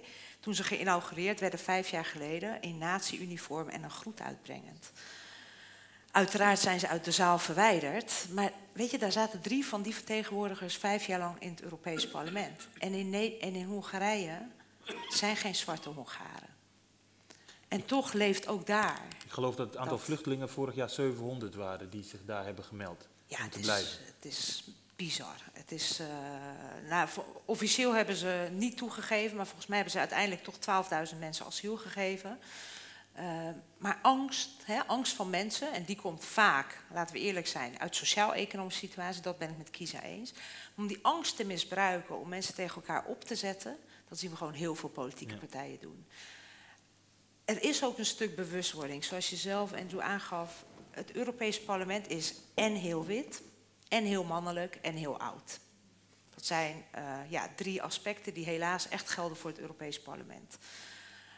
Bewustwording bijvoorbeeld bij mijn fractie is eigenlijk de afgelopen vijf jaar heel erg gekomen door Cecile Kyenge. Oud-minister in Italië eh, van Binnenlandse Zaken van Congolese afkomst. Doordat we gewoon zagen wat een collega van ons dagelijks voor drek over zich heen krijgt. En dat maken heel veel mensen in Nederland ook mee en in andere Europese landen. Maar dat zijn waarschijnlijk dan niet je collega's met wie je samen aan het lunchen bent. En toch heeft het dan effect als je haar verhaal hoort. Waardoor voor het eerst, Judith weet dat, afgelopen maart, volgens mij heeft het in geen Nederlandse krant gestaan, een resolutie is aangenomen. Ik wil hem niet bagatelliseren, Judith. Zoals, het is geen wetgeving, maar voor het eerst dat het Europees Parlement, gelukkig met steun van 550 collega's, dus we zijn nog best groot, hè, van die 750 die het hiermee eens zijn, zegt afrofobie, anti-zwarte discriminatie is een feit. En daar moet wetgeving tegen komen. Want waar zie je als de Europese Unie het heeft over diversiteit, inclusiviteit, hebben ze het over leeftijd, hebben ze het over eh, vrouw of man, gender, hebben ze het over je geaardheid en hebben ze het over handicaps. Maar het racisme is eigenlijk geen onderdeel daarvan. Het lijkt wel alsof we het niet willen zien. Dat, dat nemen we even eh, aan, genoteerd. Kom ik zo nog op terug, ook met, in relatie tot de Partij van de Arbeid en, en de afgelopen 15 jaar. Maar ik wil eerst even, Samira, ook de reactie op Judith Mhm. en Kisa. Ja, kijk, een van de belangrijkste redenen voor mij persoonlijk om de politiek in te gaan, dat ik vorig jaar heb gezegd, het is tijd dat ik zelf ook als onderdeel van een nieuwe generatie, eh, generatie die ook divers is, die de politiek ingaat en wel degelijk de zaken durft te gaan benoemen en de strijd durft te gaan voeren tegen ongelijkheid ehm, in de politiek, maar ook in de samenleving. eh, is omdat ik mezelf ook zorgen maak over het toenemend racisme, populisme, extremisme in de samenleving en in Europa. Nou, het is een hele belangrijke motivatie voor mij geweest om de politiek in te gaan. Dus ik maak me daar wel degelijk zorgen over. En ik zeg ook, ehm, elke eh, persoon met ra- racistische gedachtegoeden en handelingen in de politiek is er één te veel. Het is heel erg hard nodig dat we in de politiek eh, diverser gaan worden. Juist ook om dit soort gevaren tegen te gaan. Uh, dus los van dat we constateren dat het niet divers genoeg is, is het ook gewoon nog eens voor onze eigen veiligheid, voor de bescherming van verschillende groepen in de samenleving, heel erg belangrijk dat, die, dat het Europees Parlement ook diverser wordt. Um, dus het is heel erg hard nodig dat we door middel van wetgeving, door middel van alle instrumenten die we hebben binnen het Europees Parlement, maar ook door middel van meer diverser worden. Dus je begint al met het aandragen van de lijsten. Wie zijn je politieke kandidaten? Um, door op die manier ervoor te gaan zorgen dat er een tegengeluid komt, maar ook tegenacties komen. Uh, kan, kan we moeten dat niet onderschatten. Kan ik hier even stoppen? Ik wil toch wel horen, mee eens, want dan kunnen jullie elkaar nu de hand schudden en zeggen we gaan samen richting Europa deze ja. week. ik denk dat we dat sowieso moeten doen. Ja. Ik denk dat we sowieso moeten samenwerken als partijen om echt een blok te kunnen gaan vormen tegen de allianties die uh, rechtsextreem nu in Europa aan het Ja. maken is. Hè. Liga Noord, uh, Front National, uh, AFD, FPO. Um, alleen wat ik dan mis is dat ik. Dus ook trouwens de reden waarom ik voor Denk heb gekozen. Ik ben eerder gevraagd door D66, door PvdA om aan te sluiten bij die politieke partij. Ik heb dat bewust niet gedaan, omdat Denk wat mij betreft de enige partij is die echt een stevig standpunt inneemt tegen discriminatie. Als je ook ziet, bijvoorbeeld, we hebben een aantal moties ingediend. De moties voor meer diversiteit in de top. D66 stemt tegen. Uh, we hebben een motie ingediend tegen naming en shaming voor mensen die zich schuldig maken aan racisme. D66 heeft tegengestemd. D66, Als we, kan, kan D66 heel even... Ik ben nog niet klaar oh, met de oh, lijst. Oh. Nee, nee, nee, nee. Als we het hebben, als we het hebben over bescherming van uh, uh, moskeeën, zoals terecht synagoges ook beschermd worden, wordt er tegen gestemd. Een paar weken daarna is dat incident met de Asuna-moskee gebeurd in Den Haag en de aanslagen in Nieuw-Zeeland. Als we het hebben over het met gelijke middelen bestrijden van antisemitisme en islamofobie. Nou, de gevestigde partijen hebben tegengestemd, gelukkig PvdA en D66 niet, maar bij die andere dingen wel. En dan vraag ik me af, oké, of tenminste, dat is voor mij de motivatie geweest om juist voor Denk te stemmen, of te kiezen, omdat dat de enige partij, vind ik, die ook heel concreet bezig is om tegen racisme en discriminatie heel te vechten. Dan gaan we even naar D66, want ik, ja, je... ja. Kijk, een van, een van, de belangrijkste redenen voor mij bij D66 gaan was toen de tijd, uh, het, toen de tijd was het de enige partij die ik zag opstaan in de Tweede Kamer, ook zeker met de PvdA, uh, tegen het opkomend rechtsextremisme in de Tweede Kamer. Dat was voor mij een hele belangrijke reden om me bij D66 aan te sluiten. En ik ken D66 niet anders dan dat het zich altijd keihard heeft uitgesproken en verzet tegen racisme en discriminatie in de samenleving. De afgelopen jaren heeft juist de D66-fractie in het Europees Parlement zich ontzettend hard gemaakt. Door onder andere ook inderdaad uh, mee te stemmen voor de resolutie waar Kati het net ook over had. Uh, maar ook onze eigen Sofie in het Veld is schaduwrapporteur geweest op het gebied van racisme en discriminatie in het Europees Parlement. Heeft zich onder andere ook hard gemaakt voor een rechten- en waardenfonds. Dus jullie hebben op al die punten waardoor, meegestemd? Waardoor een rechten- en waardenfonds op Europees niveau, waardoor NGO's gefinancierd kunnen worden. NGO's die zich bijvoorbeeld inzetten tegen de strijd tegen racisme en discriminatie. Oké, okay, maar dat is dus een punt. Dat, is een punt dat zijn voorbeelden okay, van maar wat even deze terug naar de punten die ze net gaf. Ik ja. wil het gewoon even uit de lucht hebben, dan kunnen we verder. Heeft D66 inderdaad tegen al die dingen gestemd? D66 heeft tegengestemd. Ja, maar misschien kan, dat is landelijk politiek. Ja, ja, ja, maakt niet kijk, uit, want het ja, maar, dat, is... maar wacht even, dan kunnen we daarna weer naar Europa. Kijk, ik weet niet anders, nogmaals, dan dat mijn partij zich continu op allerlei vlakken, op allerlei manieren heeft verzet tegen racisme. En ik noem net een paar voorbeelden. Oké, okay, maar dan... En we hebben het hier nu, we hebben het hier nu, ik wil wel even benadrukken, we hebben het hier nu over de inzet op Europees niveau. Dat ik klopt. ben kandidaat Europarlementariër. Nee, dat klopt, maar de, de, reden waarom ik het ook even uit de weg wil hebben, omdat ja. het is natuurlijk micro en macro. En wat dat ja. betreft, de Partij van de Arbeid, ik, ja, uh, ik, ik kan niet anders zeggen dat ze ook wel heel erg ver van de, van de kern van de zaak hebben gestaan in Nederland de afgelopen 15 jaar. Diversiteit. En zijn, die zijn notabene weggelopen omdat ze zich daar niet thuis voelden bij de partij. Raakt jou dat ook? Want ik wil toch even, pak je iets van die verwijten mee? Of zeg je nee, dat zie ik, herken ik me niet in en de Partij van de Arbeid ook niet? Ik vind altijd dat je eerst naar jezelf moet Ja. kijken op een kritische manier. Zo heb ik er ook altijd in gestaan. Ik, ik zit sinds vijf jaar in de Europese politiek. Eh, überhaupt als politicus voor de Partij van de Arbeid. Ik denk dat we zeker fouten hebben gemaakt. Ik bedoel, de afsplitsing van Denk, daar kunnen we een aparte avond Ja. denk ik over organiseren. Eh, maar mijn counterpart, bijvoorbeeld in de Tweede Kamer op dit thema, is Kirsten van der Hul. Ik ben er hartstikke trots Ja. op. Samen met haar staan we hier in Amsterdam, zij aan zij, met D66 en Groen- GroenLinks, met de anti- antiracisme demonstratie. Kunnen we, kunnen we dan terug naar Europa? Want daar zit wel ook, wat ik net zei met Judith, toch iets geks. Ehm, D66 zit ook met de VVD. Ja. En, en, en, en zo heb je dus ook, de Partij van de Arbeid zit, was, welke, welk land was de partij? Roemenië. Roemenië. Daar zitten een paar ook hele autoritaire figuren. Hoe gaan jullie daarmee om? En, en misschien kun je ons uitleggen wat de strategie is met betrekking tot Europa, wetende dat je in een fractie zit, in een familie van, van partijen, waarbij er ook een paar, nou ja, rotte appels, mogen we ze zo noemen? Ja hoor. Ja? Oké. Ja, jullie hebben, Ja. jullie hebben Maar beide kijk, hetzelfde. het is, het is, eh, wat dat betreft is het simpel. Als je D66 stemt, stem je D66. Als je VVD stemt, stem je VVD. We zitten inderdaad met elkaar in een fractie. Binnen de ALDE eh, gebeurt regelmatig dat er verschil is in stemgedrag. Dus de manier waarop er wordt gestemd. Er is ook onderling veel discussie.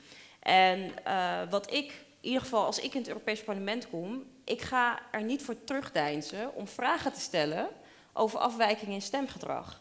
Ik vind het bijvoorbeeld opmerkelijk dat de VVD ook eh, tegen de resolutie, of althans onthouden heeft van stemming, eh, betreft de, de desbetreffende resolutie waar we het net over hebben gehad.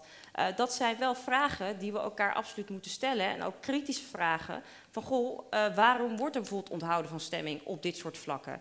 En dat kan gelukkig binnen de ALDE. En er is zeker onderling verschil, ook regelmatig tussen D66 en VVD. En ik ga er niet voor terugdeinzen om ook stemgedrag ter discussie te stellen. Um, de PvdA zit momenteel met drie parlementariërs uh, in het Europees parlement. En we maken onderdeel van een grote fractie van 184 Europarlementariërs. Daarvan zou ik niet iedereen willen bestempelen als een sociaal-democraat. Uh, terwijl het wel de sociaal-democratische fractie is. En dan leg ik ook met name de nadruk, er zijn veel socialisten onder, maar er zijn niet altijd democraten. um, en de vraag is natuurlijk, wanneer gaat een partij echt een grens over?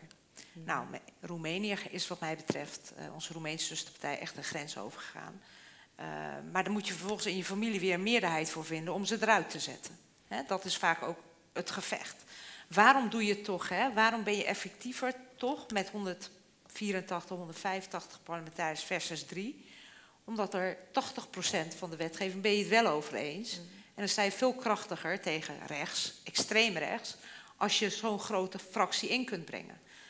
Maar nogmaals, er moeten rode lijnen zijn. En die hebben we in het verleden ook gebruikt bij anti-homo-wetgeving door onze zusterpartij in uh, Slowakije. Die partij is er toen ook uitgezet.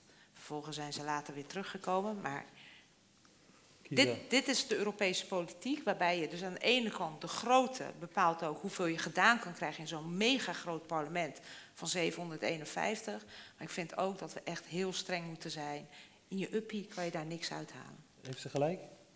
Ja, uh, ik ben wel benieuwd naar Denk, eigenlijk. Ja. De politie zitten oplossingen voor te dragen. Jullie hebben, hoe gaan jullie jullie positioneren in zo'n fractie? Want in Nederland hebben wij best wel een uniek met zo'n systeem, met zo'n partij als Denk. Dat bestaat nergens ik, in Europa. Nou ja, kijk, uh, hoe gaan jullie het aanpakken? Want Forum heeft nu problemen. Ja. Met waar ze nou precies moeten komen. Nou, laat ze Sommige mensen die hen uitsluiten enzovoort. ja. Hoe, hoe, ga, het hoe verhouden jullie nou ja, Het is denk... sowieso, en ik herhaal het, ik denk dat we als partijen gewoon moeten samenwerken, anders redden we het niet. Ja? Tegelijkertijd wil ik wel blootleggen dat ik uh, heel veel aanstoot neem aan uh, wat de Partij van de Arbeid soms roept. Ik vind dat je als bestuurder van een land en als politici een voorbeeld moet geven. Ik heb een hele waslijst aan uitspraken, die ga ik toch opnoemen. Um, waarin ik komt vind... Er nu een, komt er nu een denkfilmpje, waar, jongens? Nee, nee, er komt geen denkfilmpje. Waar, waarin ik vind... Nee, maar dit gaat u... Vraag, uh, ja, maar daar ga ik op reageren. de fractie in de Europa? Of, uh? Wij zoeken zeker de samenwerking op. Het is ook noodzakelijk okay. om een blok te vormen tegen rechtsextremisme. Oké, okay, kom maar even alleen door. Een degene, paar uitspraken. Ja, alleen de, waar ik me dus aan stoor en waarvan ik zeg van een bestuurder en een politici in dit land moeten het voorbeeld geven. Nou, en als dan een bestuurder, eh, bijvoorbeeld een, uh, een, ja, Hans Spekman, die was PvdA-voorzitter, die dan zegt... Uh, Marokkanen moet je vernederen voor eigen volk. Of een Rob Oudkerk, die wethouder was, hij heeft de term kut Marokkanen ingevoerd. Of Diederik Samson, die zegt Marokkanen hebben monopolie op geweld. Als de samenleving dit hoort, ja, dan denken ze dat dat maar normaal is. Oh, maar, ja? okay. maar, dit, maar dit zijn voorbeelden waarin je aanzet tot uh, polarisatie in de samenleving. Maar mag ik dan, en daar heb ik ik dan, dan moeite mee. Ja, tuurlijk. Rob Oudkerk is echt van de Flintstones inmiddels. Het is een verschrikkelijke uh, uitspraak. Dat, dat, maar dat zegt maar dat is je, niet de enige, Nee, hè? maar dat zegt Asscher bijvoorbeeld nu niet. Uh, en de vraag is van Kiza... Wat, uh, wat momentje, als, ja, sorry, ga wat, verder. De vraag van Kiza is... Jullie zitten hier heel erg heen en weer modder te gooien. Maar moeten jullie... Nee, dat het zei is, niet. Nee, nee, nee, nee, het is, het is Even geen modder belangrijk. gooien. Ik ben wel jullie- benieuwd naar de vraag die Even jullie mijn gaat vraag. Hè. Jullie zijn een unieke partij. Ja. Wij hebben nergens in Europa een partij die expliciet voor, opkomt Klopt. voor nieuw-Nederlanders Klopt. of voor migranten. Ja. Dus hoe gaan jullie jullie in Europa positioneren? Gaan jullie bijvoorbeeld met eh, de Groenen of hoe kijk, want eh, we horen hier Waarschijnlijk niet, want ze eh, staan in de peiling op nul zetels. Sorry? Waarschijnlijk niks. Ja, maar dat, dat Oh, is... Dat ja, is- dat zal meteen. eh, Oké, even orde. Even, dus we komen zo dan op is mijn vraag misschien We re- niet relevant, Ik- maar ik ben toch Nou ja, benieuwd, want ik- het ik is best wel het modder belangrijk. gooien. Je, je vraagt, hier is er een bepaalde is- strategie. ja. En straks moeten jullie misschien Ik ben, samenwerken. ik met ben, wie? nee, ik noem, dit, ik noem dit absoluut geen modder gooien. Ik zeg alleen maar wat er gebeurt in de samenleving. Ja? Wat, en wat er gebeurt is dat mensen die een voorbeeld moeten geven van hoe het anders moet, die doen het niet goed. En die wakkeren juist dat gevoel van afsplitsing op. Point taken. Maar dan is good. de vraag, ik zie in ieder geval, ik constateer dat Ja. die uitspraken die je net noemt, Ja. die, die hoor ik ook van Kuzu en, en, en Usturk. Ja. Die komen voorbij ten opzichte van de Kamervoorzitter. De vraag is ook van, van Kiza, wat willen jullie daarmee in Europa? Misschien moet je dan zelfs samenwerken met partijen waarbij je nu best wel tegenover elkaar staat. Zoals de Partij Ja, de wat is jullie strategie? Dat is mijn vraag. Nou ja, wat- Op Europees niveau. Wat wij willen, en dat, ik herhaal dus, hè, we moeten met z'n allen samenwerken om een blok te vormen tegen het re- rechtsextremisme. Tegelijkertijd moet een partij zoals Partij van de Arbeid moet afstand nemen van dat soort racistische uitlatingen. Dat Mag ik dan even naar de Partij van de Arbeid? Want het, het gaat nu eventjes weer over uitspraken van twee, twee leiders geleden. Maar goed, ze zijn gedaan. En dat heeft een hele impact gekregen op de samenleving. Hè. Dus de gevolgen Maar- die leven we nu nog even in. Maar mag ik dan, geef me alsjeblieft even drie minuten om uit te leggen waar deze aanval vandaan komt. Oké. Ik heb me de afgelopen jaren keihard ingezet voor mensenrechten, ook in Marokko en in Turkije.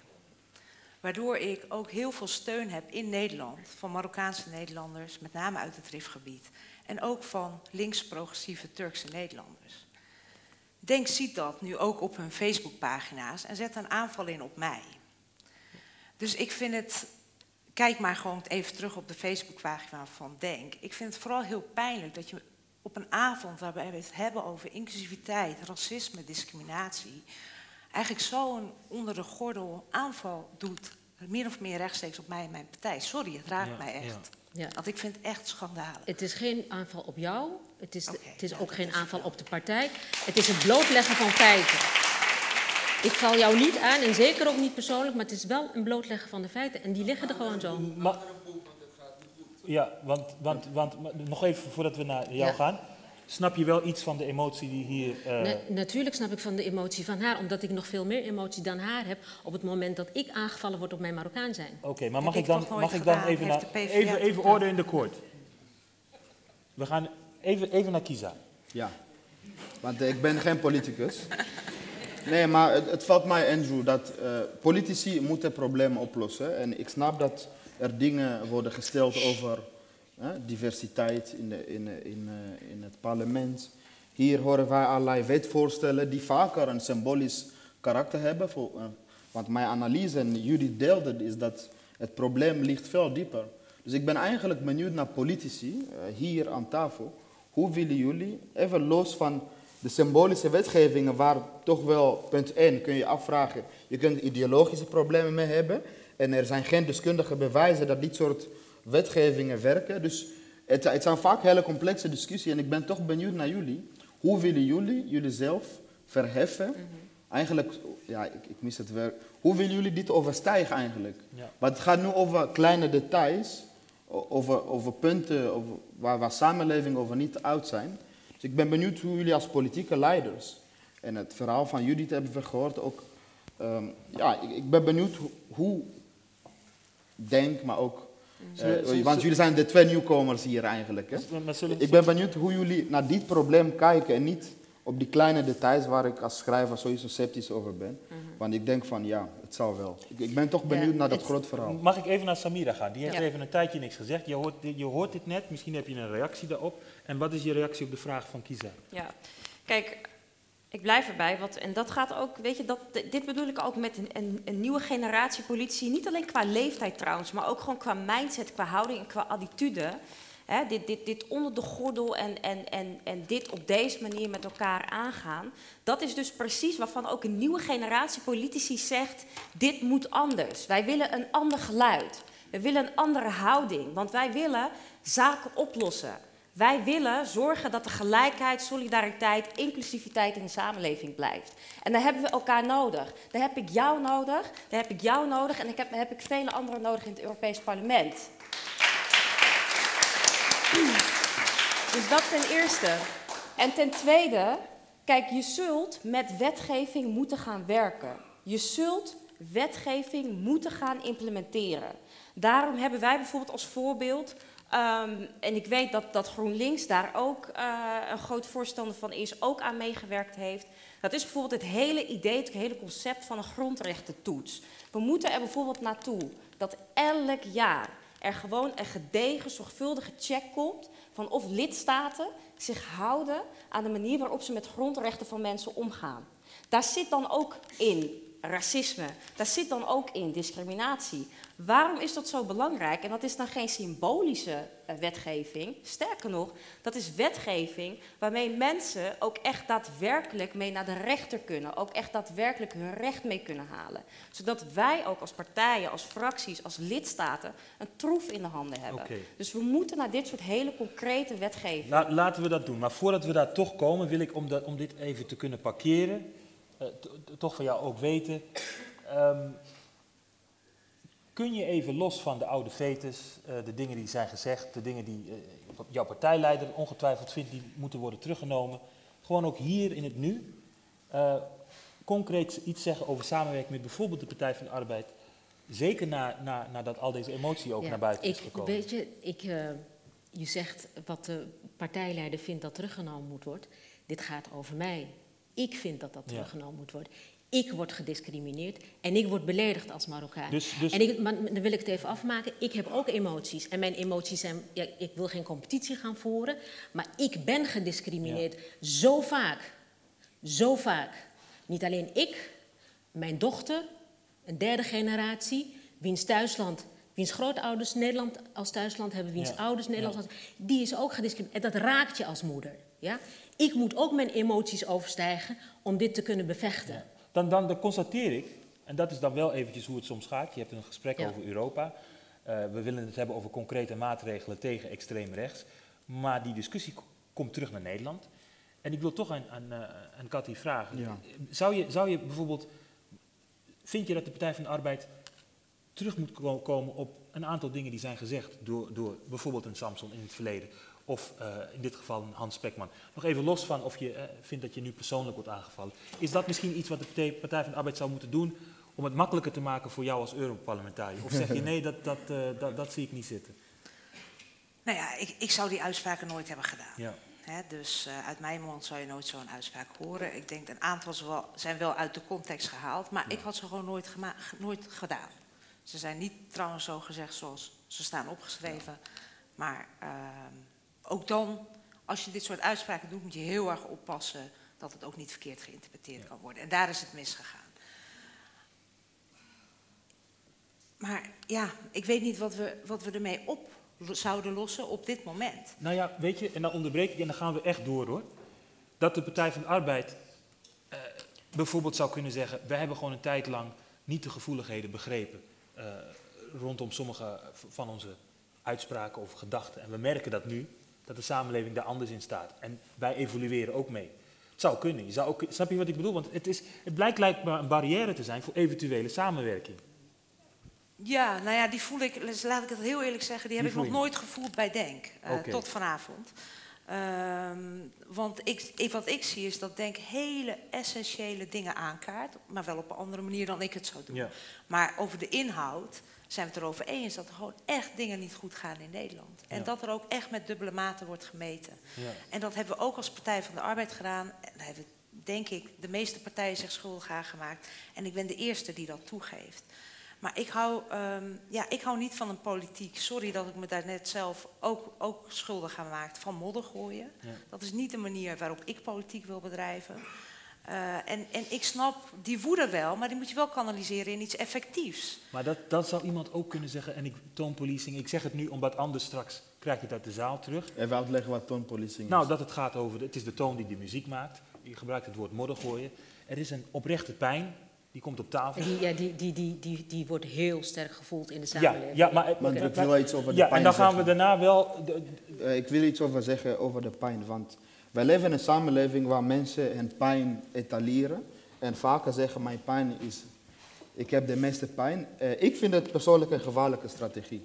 Dus ik... Ja, en ik zei het al, je, je moet met ideeën komen. Dus als wij...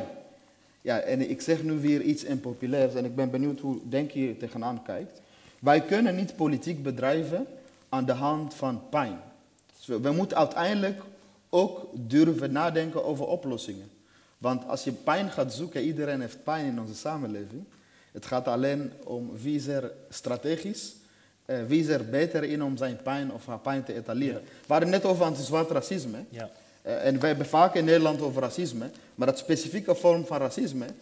Ik, ik met vrienden pra- praat heel veel over political blackness. En Partij als Denk heeft bijvoorbeeld, eh, heel strategisch, de pijn van een zwarte vrouw, Sylvana Simons, goed gebruikt, gecapitaliseerd, om landelijke bekendheid te genereren. Maar als het gaat over anti-zwart racisme, racisme binnen de Turkse en eh, Marokkaanse gemeenschap, hoor je er niet over. Dus dit soort gesprekken hebben een gelaagde karakter. En ik vind dat het ga- we moeten voorbij onze eigen pijn kijken Ja. en nadenken over oplossingen. En daarom ben ik benieuwd, hoe kijkt u hier tegenaan? Want anders kan Judith zeggen, ik ben een vrouw. Eh, kan een andere zeggen, ik, ik- dit is mijn pijn. Ja. Dus gaan wij een samenleving aan de hand van pijn bouwen? Of moeten we kijken naar de gemeenschappelijke delers?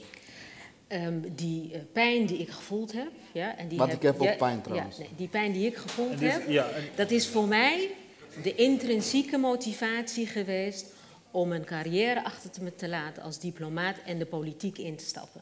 Goed. Dat, dat, dat noem ik dus je pijn op een positieve manier kanaliseren. Dus daar ben ik op dit moment mee bezig en ik ben er om te strijden tegen die dubbele maat, want dat is niet maar ik alleen voel maar... niks positief. Wat is de visie? Waar moeten we naartoe naar- als Europa? Maar dat zeg ik, ik heb het in het begin gezegd, we moeten samenwerken om, dat, om, een, om een beweging te vormen en een tegenbeweging te vormen tegen het Oké, rechtsextremisme. Dat zeg we ik. gaan, we Even gaan wat, eh, jij, ehm, allerlaatste, en dan gaan we echt even naar Europa, want we hebben nog eh, tien minuten. Ja. En ik heb, het het gaat al tien minuten over eh, de, de, de, de ruzie tussen de, of de woorden van Denk en Partij van de Arbeid, die ook belangrijk zijn, maar ik denk dat er echt ook nog over Mhm, Europa gesproken zeker. moet worden. Kijk, waar het, om, waar het ook in zit, is hoe we die pijn transformeren. Hoe we pijn en, en, en frustratie transformeren naar effectief zijn met elkaar. Ik, wij, wij, kunnen hier ons, wij hebben hier allemaal persoonlijk voorbeelden van pijn. Ik heb ook pijn gehad. Ik heb ook frustraties gehad over zaken die me ook zijn overkomen. Absoluut. Alleen waar we nu echt naartoe moeten, is hoe we met z'n allen die pijn kunnen transformeren. En niet ontkennen.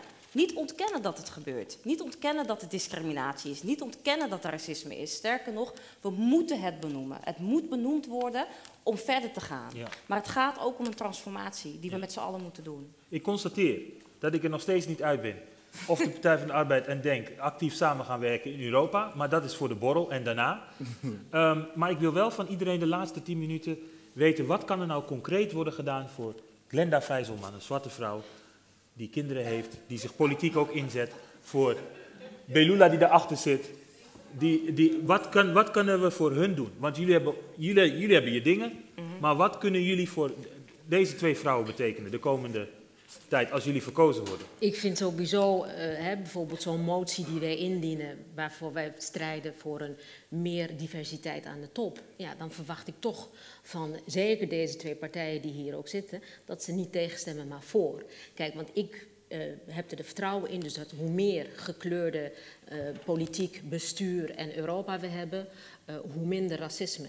Dus, dus die, hoe diverser die club is, eh, hoe beter iedereen zich ook vertegenwoordigd voelt. Dus op het moment dat we dat soort moties indienen, eh, zou ik ook graag de steun willen hebben van dit soort partijen. En dan schud ik beide dames heel graag de hand om straks in Europa verder te werken op, deze, op dit soort punten. Nou, wat ik op Europees niveau kan zeggen is, dat hebben we ook gewoon in ons verkiezingsprogramma staan. Wat D66 heel duidelijk zegt, is dat we, zeker als het gaat om de Europese functies en de topfuncties binnen de Europese instituties, moeten er meer biculturele Europeanen komen en ook meer vrouwen. Dus we willen ook naar een 50-50.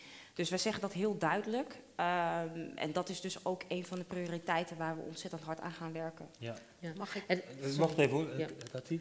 Nou ja, ik denk als we toch teruggaan naar het onderwerp van vanavond, hè, echt heel specifiek ook eh, racisme. Dat we dus te maken hebben met deels wetgeving die vastzit bij de regeringen. Hmm, Dat Eh, hè, daar, Ja. had je, daar had je het ook eerder met, met eh, Judith over. Ik denk op dat terrein moeten we dus veel meer de samenwerking zoeken met nationale parlementen. Ja. Want anders kunnen we die regeringen niet onder druk zetten. En hoe zie je dat voor je? Nou ja, dat, dat hebben we bijvoorbeeld op een aantal dossiers gedaan. Dat we echt als Europees parlement het voortouw ergens op namen. En vervolgens nationale parlementen zijn gevolgd. Eh, nou moet ik ook zeggen, helaas, ik heb vijf jaar in het Europees parlement gezeten. Discussies zoals vanavond zijn er veel te weinig. Echt veel te weinig. En eigenlijk heb ik ze misschien in het Europees parlement, behalve bij, bij die resolutie die ik net besprak, die we twee maanden Ja. geleden hebben aangenomen, gewoon niet gehad. Dus het is ook, ik weet hoe frustrerend dat klinkt voor mensen die hier hele leven al mee bezig zijn. Het is ook toch nog steeds een gevecht van bewustwording. Bewustwording. Het is niet altijd qua je wil. Het is ook gewoon, heel veel collega's van mij komen uit landen waar inderdaad Roma gediscrimineerd worden, maar waar heel weinig zwarte Europeanen zijn. Ja. Dus het is ook maar gewoon... mag ik dan vragen, uh, ja. Cathy, dan, dan, hier zit ook heel erg veel van de pijn weer Ja, in, die we dan ik. net voorbij zagen komen. Hoe kunnen we dan voorkomen dat straks eh, die, die, die rechtse figuren winnen, omdat er toch te veel infighting is eh, en er niet gebruik kan, gemaakt kan worden van de expertise van deze en gene, om het zo maar te Ja. zeggen? Wat, zou jou, wat zijn jouw gedachten daarover? Nou, ik heb eigenlijk in het Europees Parlement altijd heel effectief weten samen te werken met eigenlijk alle progressieve partijen. En soms zelfs nog van de Christen-Democraten een aantal redelijke mensen. Hè? ehm, ja, die zijn er ook. Eh, dus dus ik, Judith, eh, jouw collega Marietje Schaken, dat waren echt eh, nou, niet alleen goede collega's, maar ook gewoon goede vriendinnen geworden de afgelopen vijf jaar. Omdat je op heel veel terreinen echt hetzelfde gevecht aan het voeren bent. Weet je, ik weet het is verkiezingstijd, dus je wil vooral de politieke verschillen benadrukken. Zo hoort het ook, want jullie moeten straks een afgewogen oordeel kunnen vellen. En je kunt maar op één, één partij en één, één persoon stemmen. Maar in feite, de afgelopen vijf jaar, hebben eigenlijk progressieve krachten zich heel vaak samengespannen. En hoewel extreem rechts hoog staat, hoger in de peilingen dan die 50 die ze nu hebben, zie je ook dat ze eigenlijk door hun nationalisme elkaar uitsluiten. Hè? Dus dat is eigenlijk het goede nieuws voor alle democraten in het Europees Parlement. Uiteindelijk zijn ze ook altijd zo nationalistisch. Hè? Dus bijvoorbeeld de nationalist uit eh, eh, Duitsland, die zei ja, alle grenzen dicht. En toen dachten opeens de nationalisten in Oostenrijk, oh ja, maar dan blijven ze wel aan onze kant van de grens zitten. Hè? Dus het is heel moeilijk soms voor die partijen Ja. om samen te werken, gelukkig. Maar ik wil het ook niet te soft houden. We moeten ook wetgeving hebben op basis van bescherming, op basis van racisme. En daar mist het aan. Daar mist het echt aan. Eh, daar heb, sorry? Ja, ik heb toch het gevoel, maar dan, dan ben ik ook maar gekke Henk. Dat er, iedereen roept maar wetgeving, maar dan denk ik, ja, wat heb ik daar dan aan? Is dat het enige Ja, wat jullie maar kunnen? dat is Dat echt Dat zijn politici. Andrew. Ja, maar leg me dat dan even uit. En, Ja. en, want ik, Kijk, het gaat, het, gaat hier echt, het, het, het gaat hier echt over hoe beschermen we de positie van mensen. Hoe beschermen we de positie van mensen met een bepaalde achtergrond in samenleving. Die op dit moment nog niet genoeg gebruik kunnen maken altijd van wettelijke wettelijke Oké, bescherming. Dus een voorbeeld. daar- een voorbeeld. daar wat willen bijvoorbeeld D66? Wil, wil, wat wil D66 wettelijk veranderen? We hebben door middel van, door ook eh, mee te stemmen met die resolutie waar we het nu al een paar keer over hebben Ja. gehad, dat is een begin om ervoor te zorgen dat mensen, eh, in dit geval ook specifiek met een, een, een Afrikaanse achtergrond in Europa, ook veel specifieker een grond hebben op basis waarvan ze bijvoorbeeld naar de rechter kunnen stappen. Op basis waarvan ze bijvoorbeeld op grond van Europese instrumenten en rechten hun recht kunnen halen omdat ze gediscrimineerd zijn, omdat ze te maken hebben gehad met racisme. Dat is iets heel cruciaals. Het is heel belangrijk dat eh, ten eerste de achterstelling, dat ten tweede de, de, de, de, de miskenning, eh, het, de, het, het racisme tegen deze mensen. Hè, ik ben zelf ook van Afrikaanse achtergrond, dus het raakt mij ook persoonlijk. Dat dat ingebed is in onze wet. Hebben wij hier een alliantie zitten daarvoor? Ik, ik wil even ehm, aangeven hoe ik het zie, hè, van wat we eraan Ja. zouden kunnen doen. Ik denk, en die wetgeving die bestaat er al, I mean like de Nederlandse grondwet, die bie- biedt al voldoende bescherming. Maar het gaat om de handhaving. De handhaving, daar mist het aan. Maar in en daar Europa hebben we ontbreekt het aan. over, hè? maar ook in Europa. Ja, ja. Hè, want zoals het nu geregeld is, Nee, we hebben natuurlijk de commissie van de Raad van Europa, die adviezen uitbrengt. Maar het blijft alleen maar bij Judith, adviezen. Judith schudt nee. Ik wil toch even horen wat Judith vindt. Kan, kan, de, microfoon, kan de microfoon aan? Het klopt niet wat ze zegt. Nee, nee, nee, nee die van... Die, Nee, die willen we niet meer, Judith. Waar, mevrouw, mevrouw Wadani, waar is de internationale solidariteit? De Nederlandse grondwet geldt hier. Waar haalt dan iemand van Afrikaanse afkomst in pak een beet Polen zijn recht? Dat is één. En waar is uw internationale solidariteit waar het die rivijnen betreft die strijden voor, eh, voor meer democratie en meer zeggenschap in hun eigen regio? Want u suggereert van alles over oneerlijkheid in Nederland, maar ondertussen hoor ik u niet kritisch over de, de Marokkaanse regering. Sterker nog, u schuift mevrouw Piri in de schoenen dat het door haar actie en mijn actie is dat mensen langer gevangen zitten. Mevrouw, Europese politiek gaat over internationale solidariteit. Nou, wat, is uw, wat is uw vraag precies aan mij? Waar de solidariteit Waar is uw solidariteit als u zegt we hebben die wet niet nodig tegen discriminatie in Europa, want het staat al in de Nederlandse grondwet. Daar hebben Polen en Roemenen en, uh, en noem maar op helemaal niets aan. Dan heeft u mij helemaal verkeerd begrepen. Wat ik probeer te zeggen is dat wetgeving alleen onvoldoende is. En ik gaf Nederland als voorbeeld. Wetgeving alleen of dat op nationaal vlak is of Europees vlak, is onvoldoende. Sterker nog, er is geen wetgeving in Europa. Maar wat nog veel belangrijker is, hebben we hier in Nederland ervaren, is de handhaving van die Oké, maar als ik dan even in mag grijpen, niet over Nederland. Ik suggereerde, hebben we hier dan een alliantie als het gaat om die wetgeving, die er in Europa inderdaad ja, nog niet ja, is? Zeker, zeker. Nou, dan zijn we daaruit. Kunnen we naar... Dat was het enige duurt soms even, maar dan hebben we hem. Maar het is niet, het is, nee, ik vind nee, nee, wetgeving alleen onvoldoende. Oké, okay, nou, dat weet ik ook. Maar ik wou dat punt eventjes uh, kunnen parkeren, want we hebben ja. nu ruimte voor vragen en die zijn er zeker. Zijn er vragen? Ja? Ja, ja, ja eerst, eerst even iemand die nog niet is geweest. Dan wil ik u toch ook de kans geven om uh, namens Denk nog te vertellen wat er concreet gedaan gaat worden voor, nou ik heb de dames net al genoemd, de Afro-Europeanen. Uh, wat ik zoal net zei, hè, dus er moet uh, wetgeving komen, maar ik vind dat onvoldoende. Er moet ook handhaving komen. We hebben het ook over het sanctioneren van uh, personen of instituten die zich schuldig maken aan racisme. Kan dat Europees? Dus dat zeggen we. Ja? Ja, dat, oké. Okay. Oké, okay. nou, dan wil ik even naar de zaal, want we moeten zo afsluiten. En ik heb het gevoel dat er wel een paar mensen zijn met een vraag. U had er sowieso één. Wie, wie is er nog niet geweest en heeft zoiets... Ik wil ook op de Facebook. ja, want er zit hier een heel... We hebben trouwens van Denk, we hebben ook een stream, hè. Die, die... Ze zijn... Oké, goed. Als u even gaat staan. Ja, dank u wel. Ik had eigenlijk een vraag aan alle politici die hier zitten. Want ik uh, studeer op dit moment. En ik merk eigenlijk dat er onder mijn medestudenten best wel een flink aantal FVD-stemmers zit. En eigenlijk het voornaamste verwijt dat ik vanuit hun hoor, is dat uh, links eigenlijk voornamelijk uh, spreekt vanuit juist exclusiviteit. Dat er niet naar hen geluisterd wordt. Dat er eigenlijk een. Uh, ja, dat is wat ik in ieder geval hoor. En ik voel me af van hoe gaan jullie concreet ervoor zorgen dat er ook die partijen weer betrokken worden bij dit debat. En dat links en rechts toch weer bij elkaar komen om met elkaar in gesprek te gaan. Dat is eigenlijk ook waarom ik hier eigenlijk een beetje de, de andere rechtse partijen mis. Maar wat is uh, jullie concrete aanpak als het gaat om toch weer dat debat vuur geven en, en op, samen met elkaar weer in gesprek gaan? En wat is onze rol als kiezer daarbij? Ja, nou, zolang we nog in dit land zijn, denk ik dat we. Toch? En waar we ook zullen blijven. Ja, maar het is een hele interessante vraag.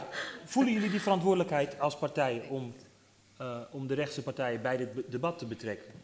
Uh, Samira. Nou, waar we ons verantwoordelijk voor voelen, is dat uh, alle partijen, dat de hele politiek solidair en inclusief is. En wij willen gewoon dat de idealen als het gaat om solidariteit, gelijkheid, rechtvaardigheid bewaakt wordt. En dat ook rechtse partijen zeker daar hun, daar hun verantwoordelijkheid in nemen. Wij willen dat, het, dat, het, dat de taal gaat veranderen, dat het hele repertoire gaat veranderen. Dat gaat veranderen hoe we kijken naar mensen, hoe we omgaan met mensen. Dus het is eerder dat wij ons als partijen gaan inzetten om ervoor te zorgen dat het geluid geen andere of geen ruimere plek krijgt ja. in de politiek. Ja. Um, en ja, daar zul je zeker ook voor in debat moeten gaan. Daar zul je keihard voor in debat moeten gaan. Want je zult, wat Kiezer ook terecht aangeeft, ook wij moeten met betere uh, antwoorden komen op sommige vlakken. Dus ook wij moeten werken aan wat onze antwoorden gaan zijn. Maar vooral ook verkeerde beweringen tegengaan. Ja. Het zit hem ook in dat beweringen vaak niet kloppen. Die ook vaak vanuit die kant komen als we het hebben over migratie bijvoorbeeld. En het is heel belangrijk om dat tegen te gaan. Goed, duidelijk. Ik, um, ik, ja, ik doe ruimte nog voor twee. Me, mevrouw, ja, de, er komt de microfoon aan. Hi, um, ik dacht ineens, luistert links genoeg naar rechts? Kan je dat nog wel horen als je zo daartegen bent? Oh, dat is ook... Uh... Misschien moeten politici deze vraag niet beantwoorden. Ja, ik, ik denk dat het een goede is. Of, of ja, ja. Time out. Die mag Kisa beantwoorden, heel goed. Moeten we sowieso, ja. Ja, van, wa, van wat ik weet, als het om politiek gaat, werken jullie prima samen met rechtse partijen. Maar het, gaat uh, om in de publieke ruimte, van wat ik eigenlijk stelde aan het begin, hebben jullie eigenlijk al gewonnen. Jullie, jullie progressieve ideeën zijn de norm. En wat we nu extreem rechts noemen, is een beetje, ja, een, beetje een afwijking. Of een, het bevraagt de norm. Dus het is de vraag, hoe ga je daarmee om? En het sociaal-economische aspect is uh, daar al genoemd. Als mensen echt, je kunt wetenschappelijk allerlei vragen stellen, zeggen dat ze om zorgen op dit soort partijen stemmen, ja, dan moet je daar naar luisteren. Maar wat nog belangrijker is, en dat is ook mijn hele pleidooi vanavond, is dat we moeten zoeken wat daaronder ligt. Hè. Het programma heet Skin Deep. Ja. Er zijn politicologen doen allerlei onderzoek over stemgedrag van mensen. Het is, niet vaak, het is vaak niet rationeel. We zijn niet zo vaak rationeel als we denken. Okay. Het is vaak wat daaronder ligt. En ik denk dat ja, het een publieke discussie daarvoor nodig is. Mm. En zeker ontmoeting, het voorbeeld van Cecile Kienge is daar een mooi voorbeeld van. Dat als je iemand tegenkomt die een persoonlijk verhaal vertelt, dat je het zelf ziet, ja, dan uh, word je er wakker. Ja. Dus zo ontmoeting is da, Dank je wel sowieso voor het stellen van beide vragen. Ook meneer daar. Uh, het, het, kost altijd toch wel wat moeite. ik zie, oké, ik, okay, uh, ik zie nu, nu komen al de handen. Um, ja, Belula, wat wil je gaan staan? En dan krijg je de microfoon.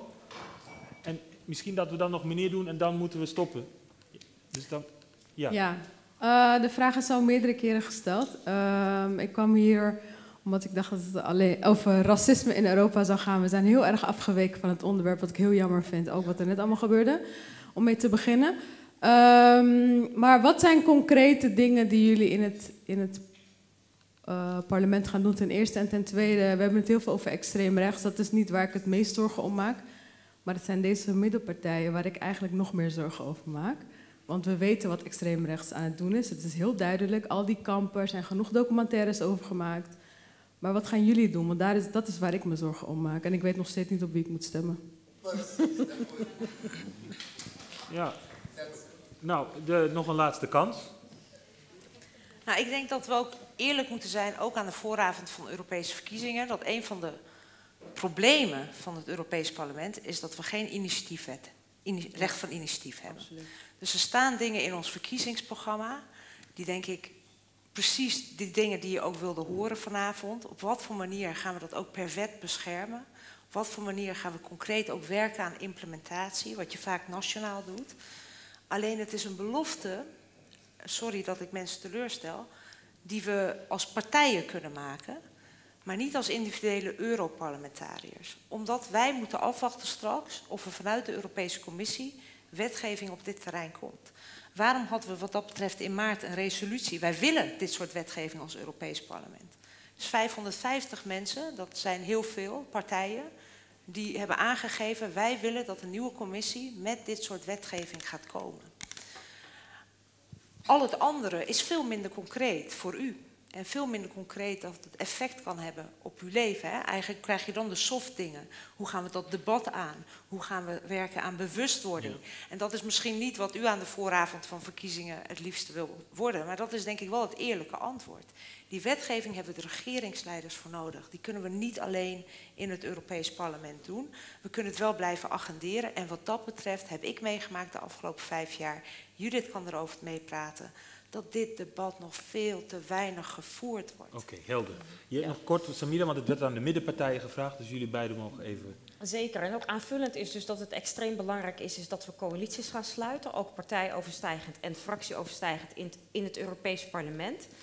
En het betekent dat we gewoon continu moeten zorgen dat onderwerpen geagendeerd blijven. En vergeet niet dat er wel nog een hele invloedrijke taak en rol voor Europarlementariërs kan liggen. Op het moment dat er wetgevingsvoorstellen komen, zijn wij het ook die wijzigingen kunnen gaan aanbrengen. Die hele belangrijke, concrete wijzigingen kunnen gaan aanbrengen.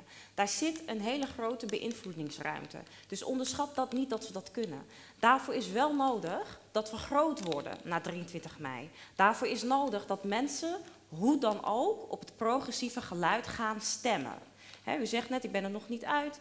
Uh, maar zorg alsjeblieft dan wel dat als u wilt wat het doorgang heeft, de belangrijke wetgeving, de bescherming van mensen met verschillende achtergronden in Europa, stem dan op dat progressieve geluid.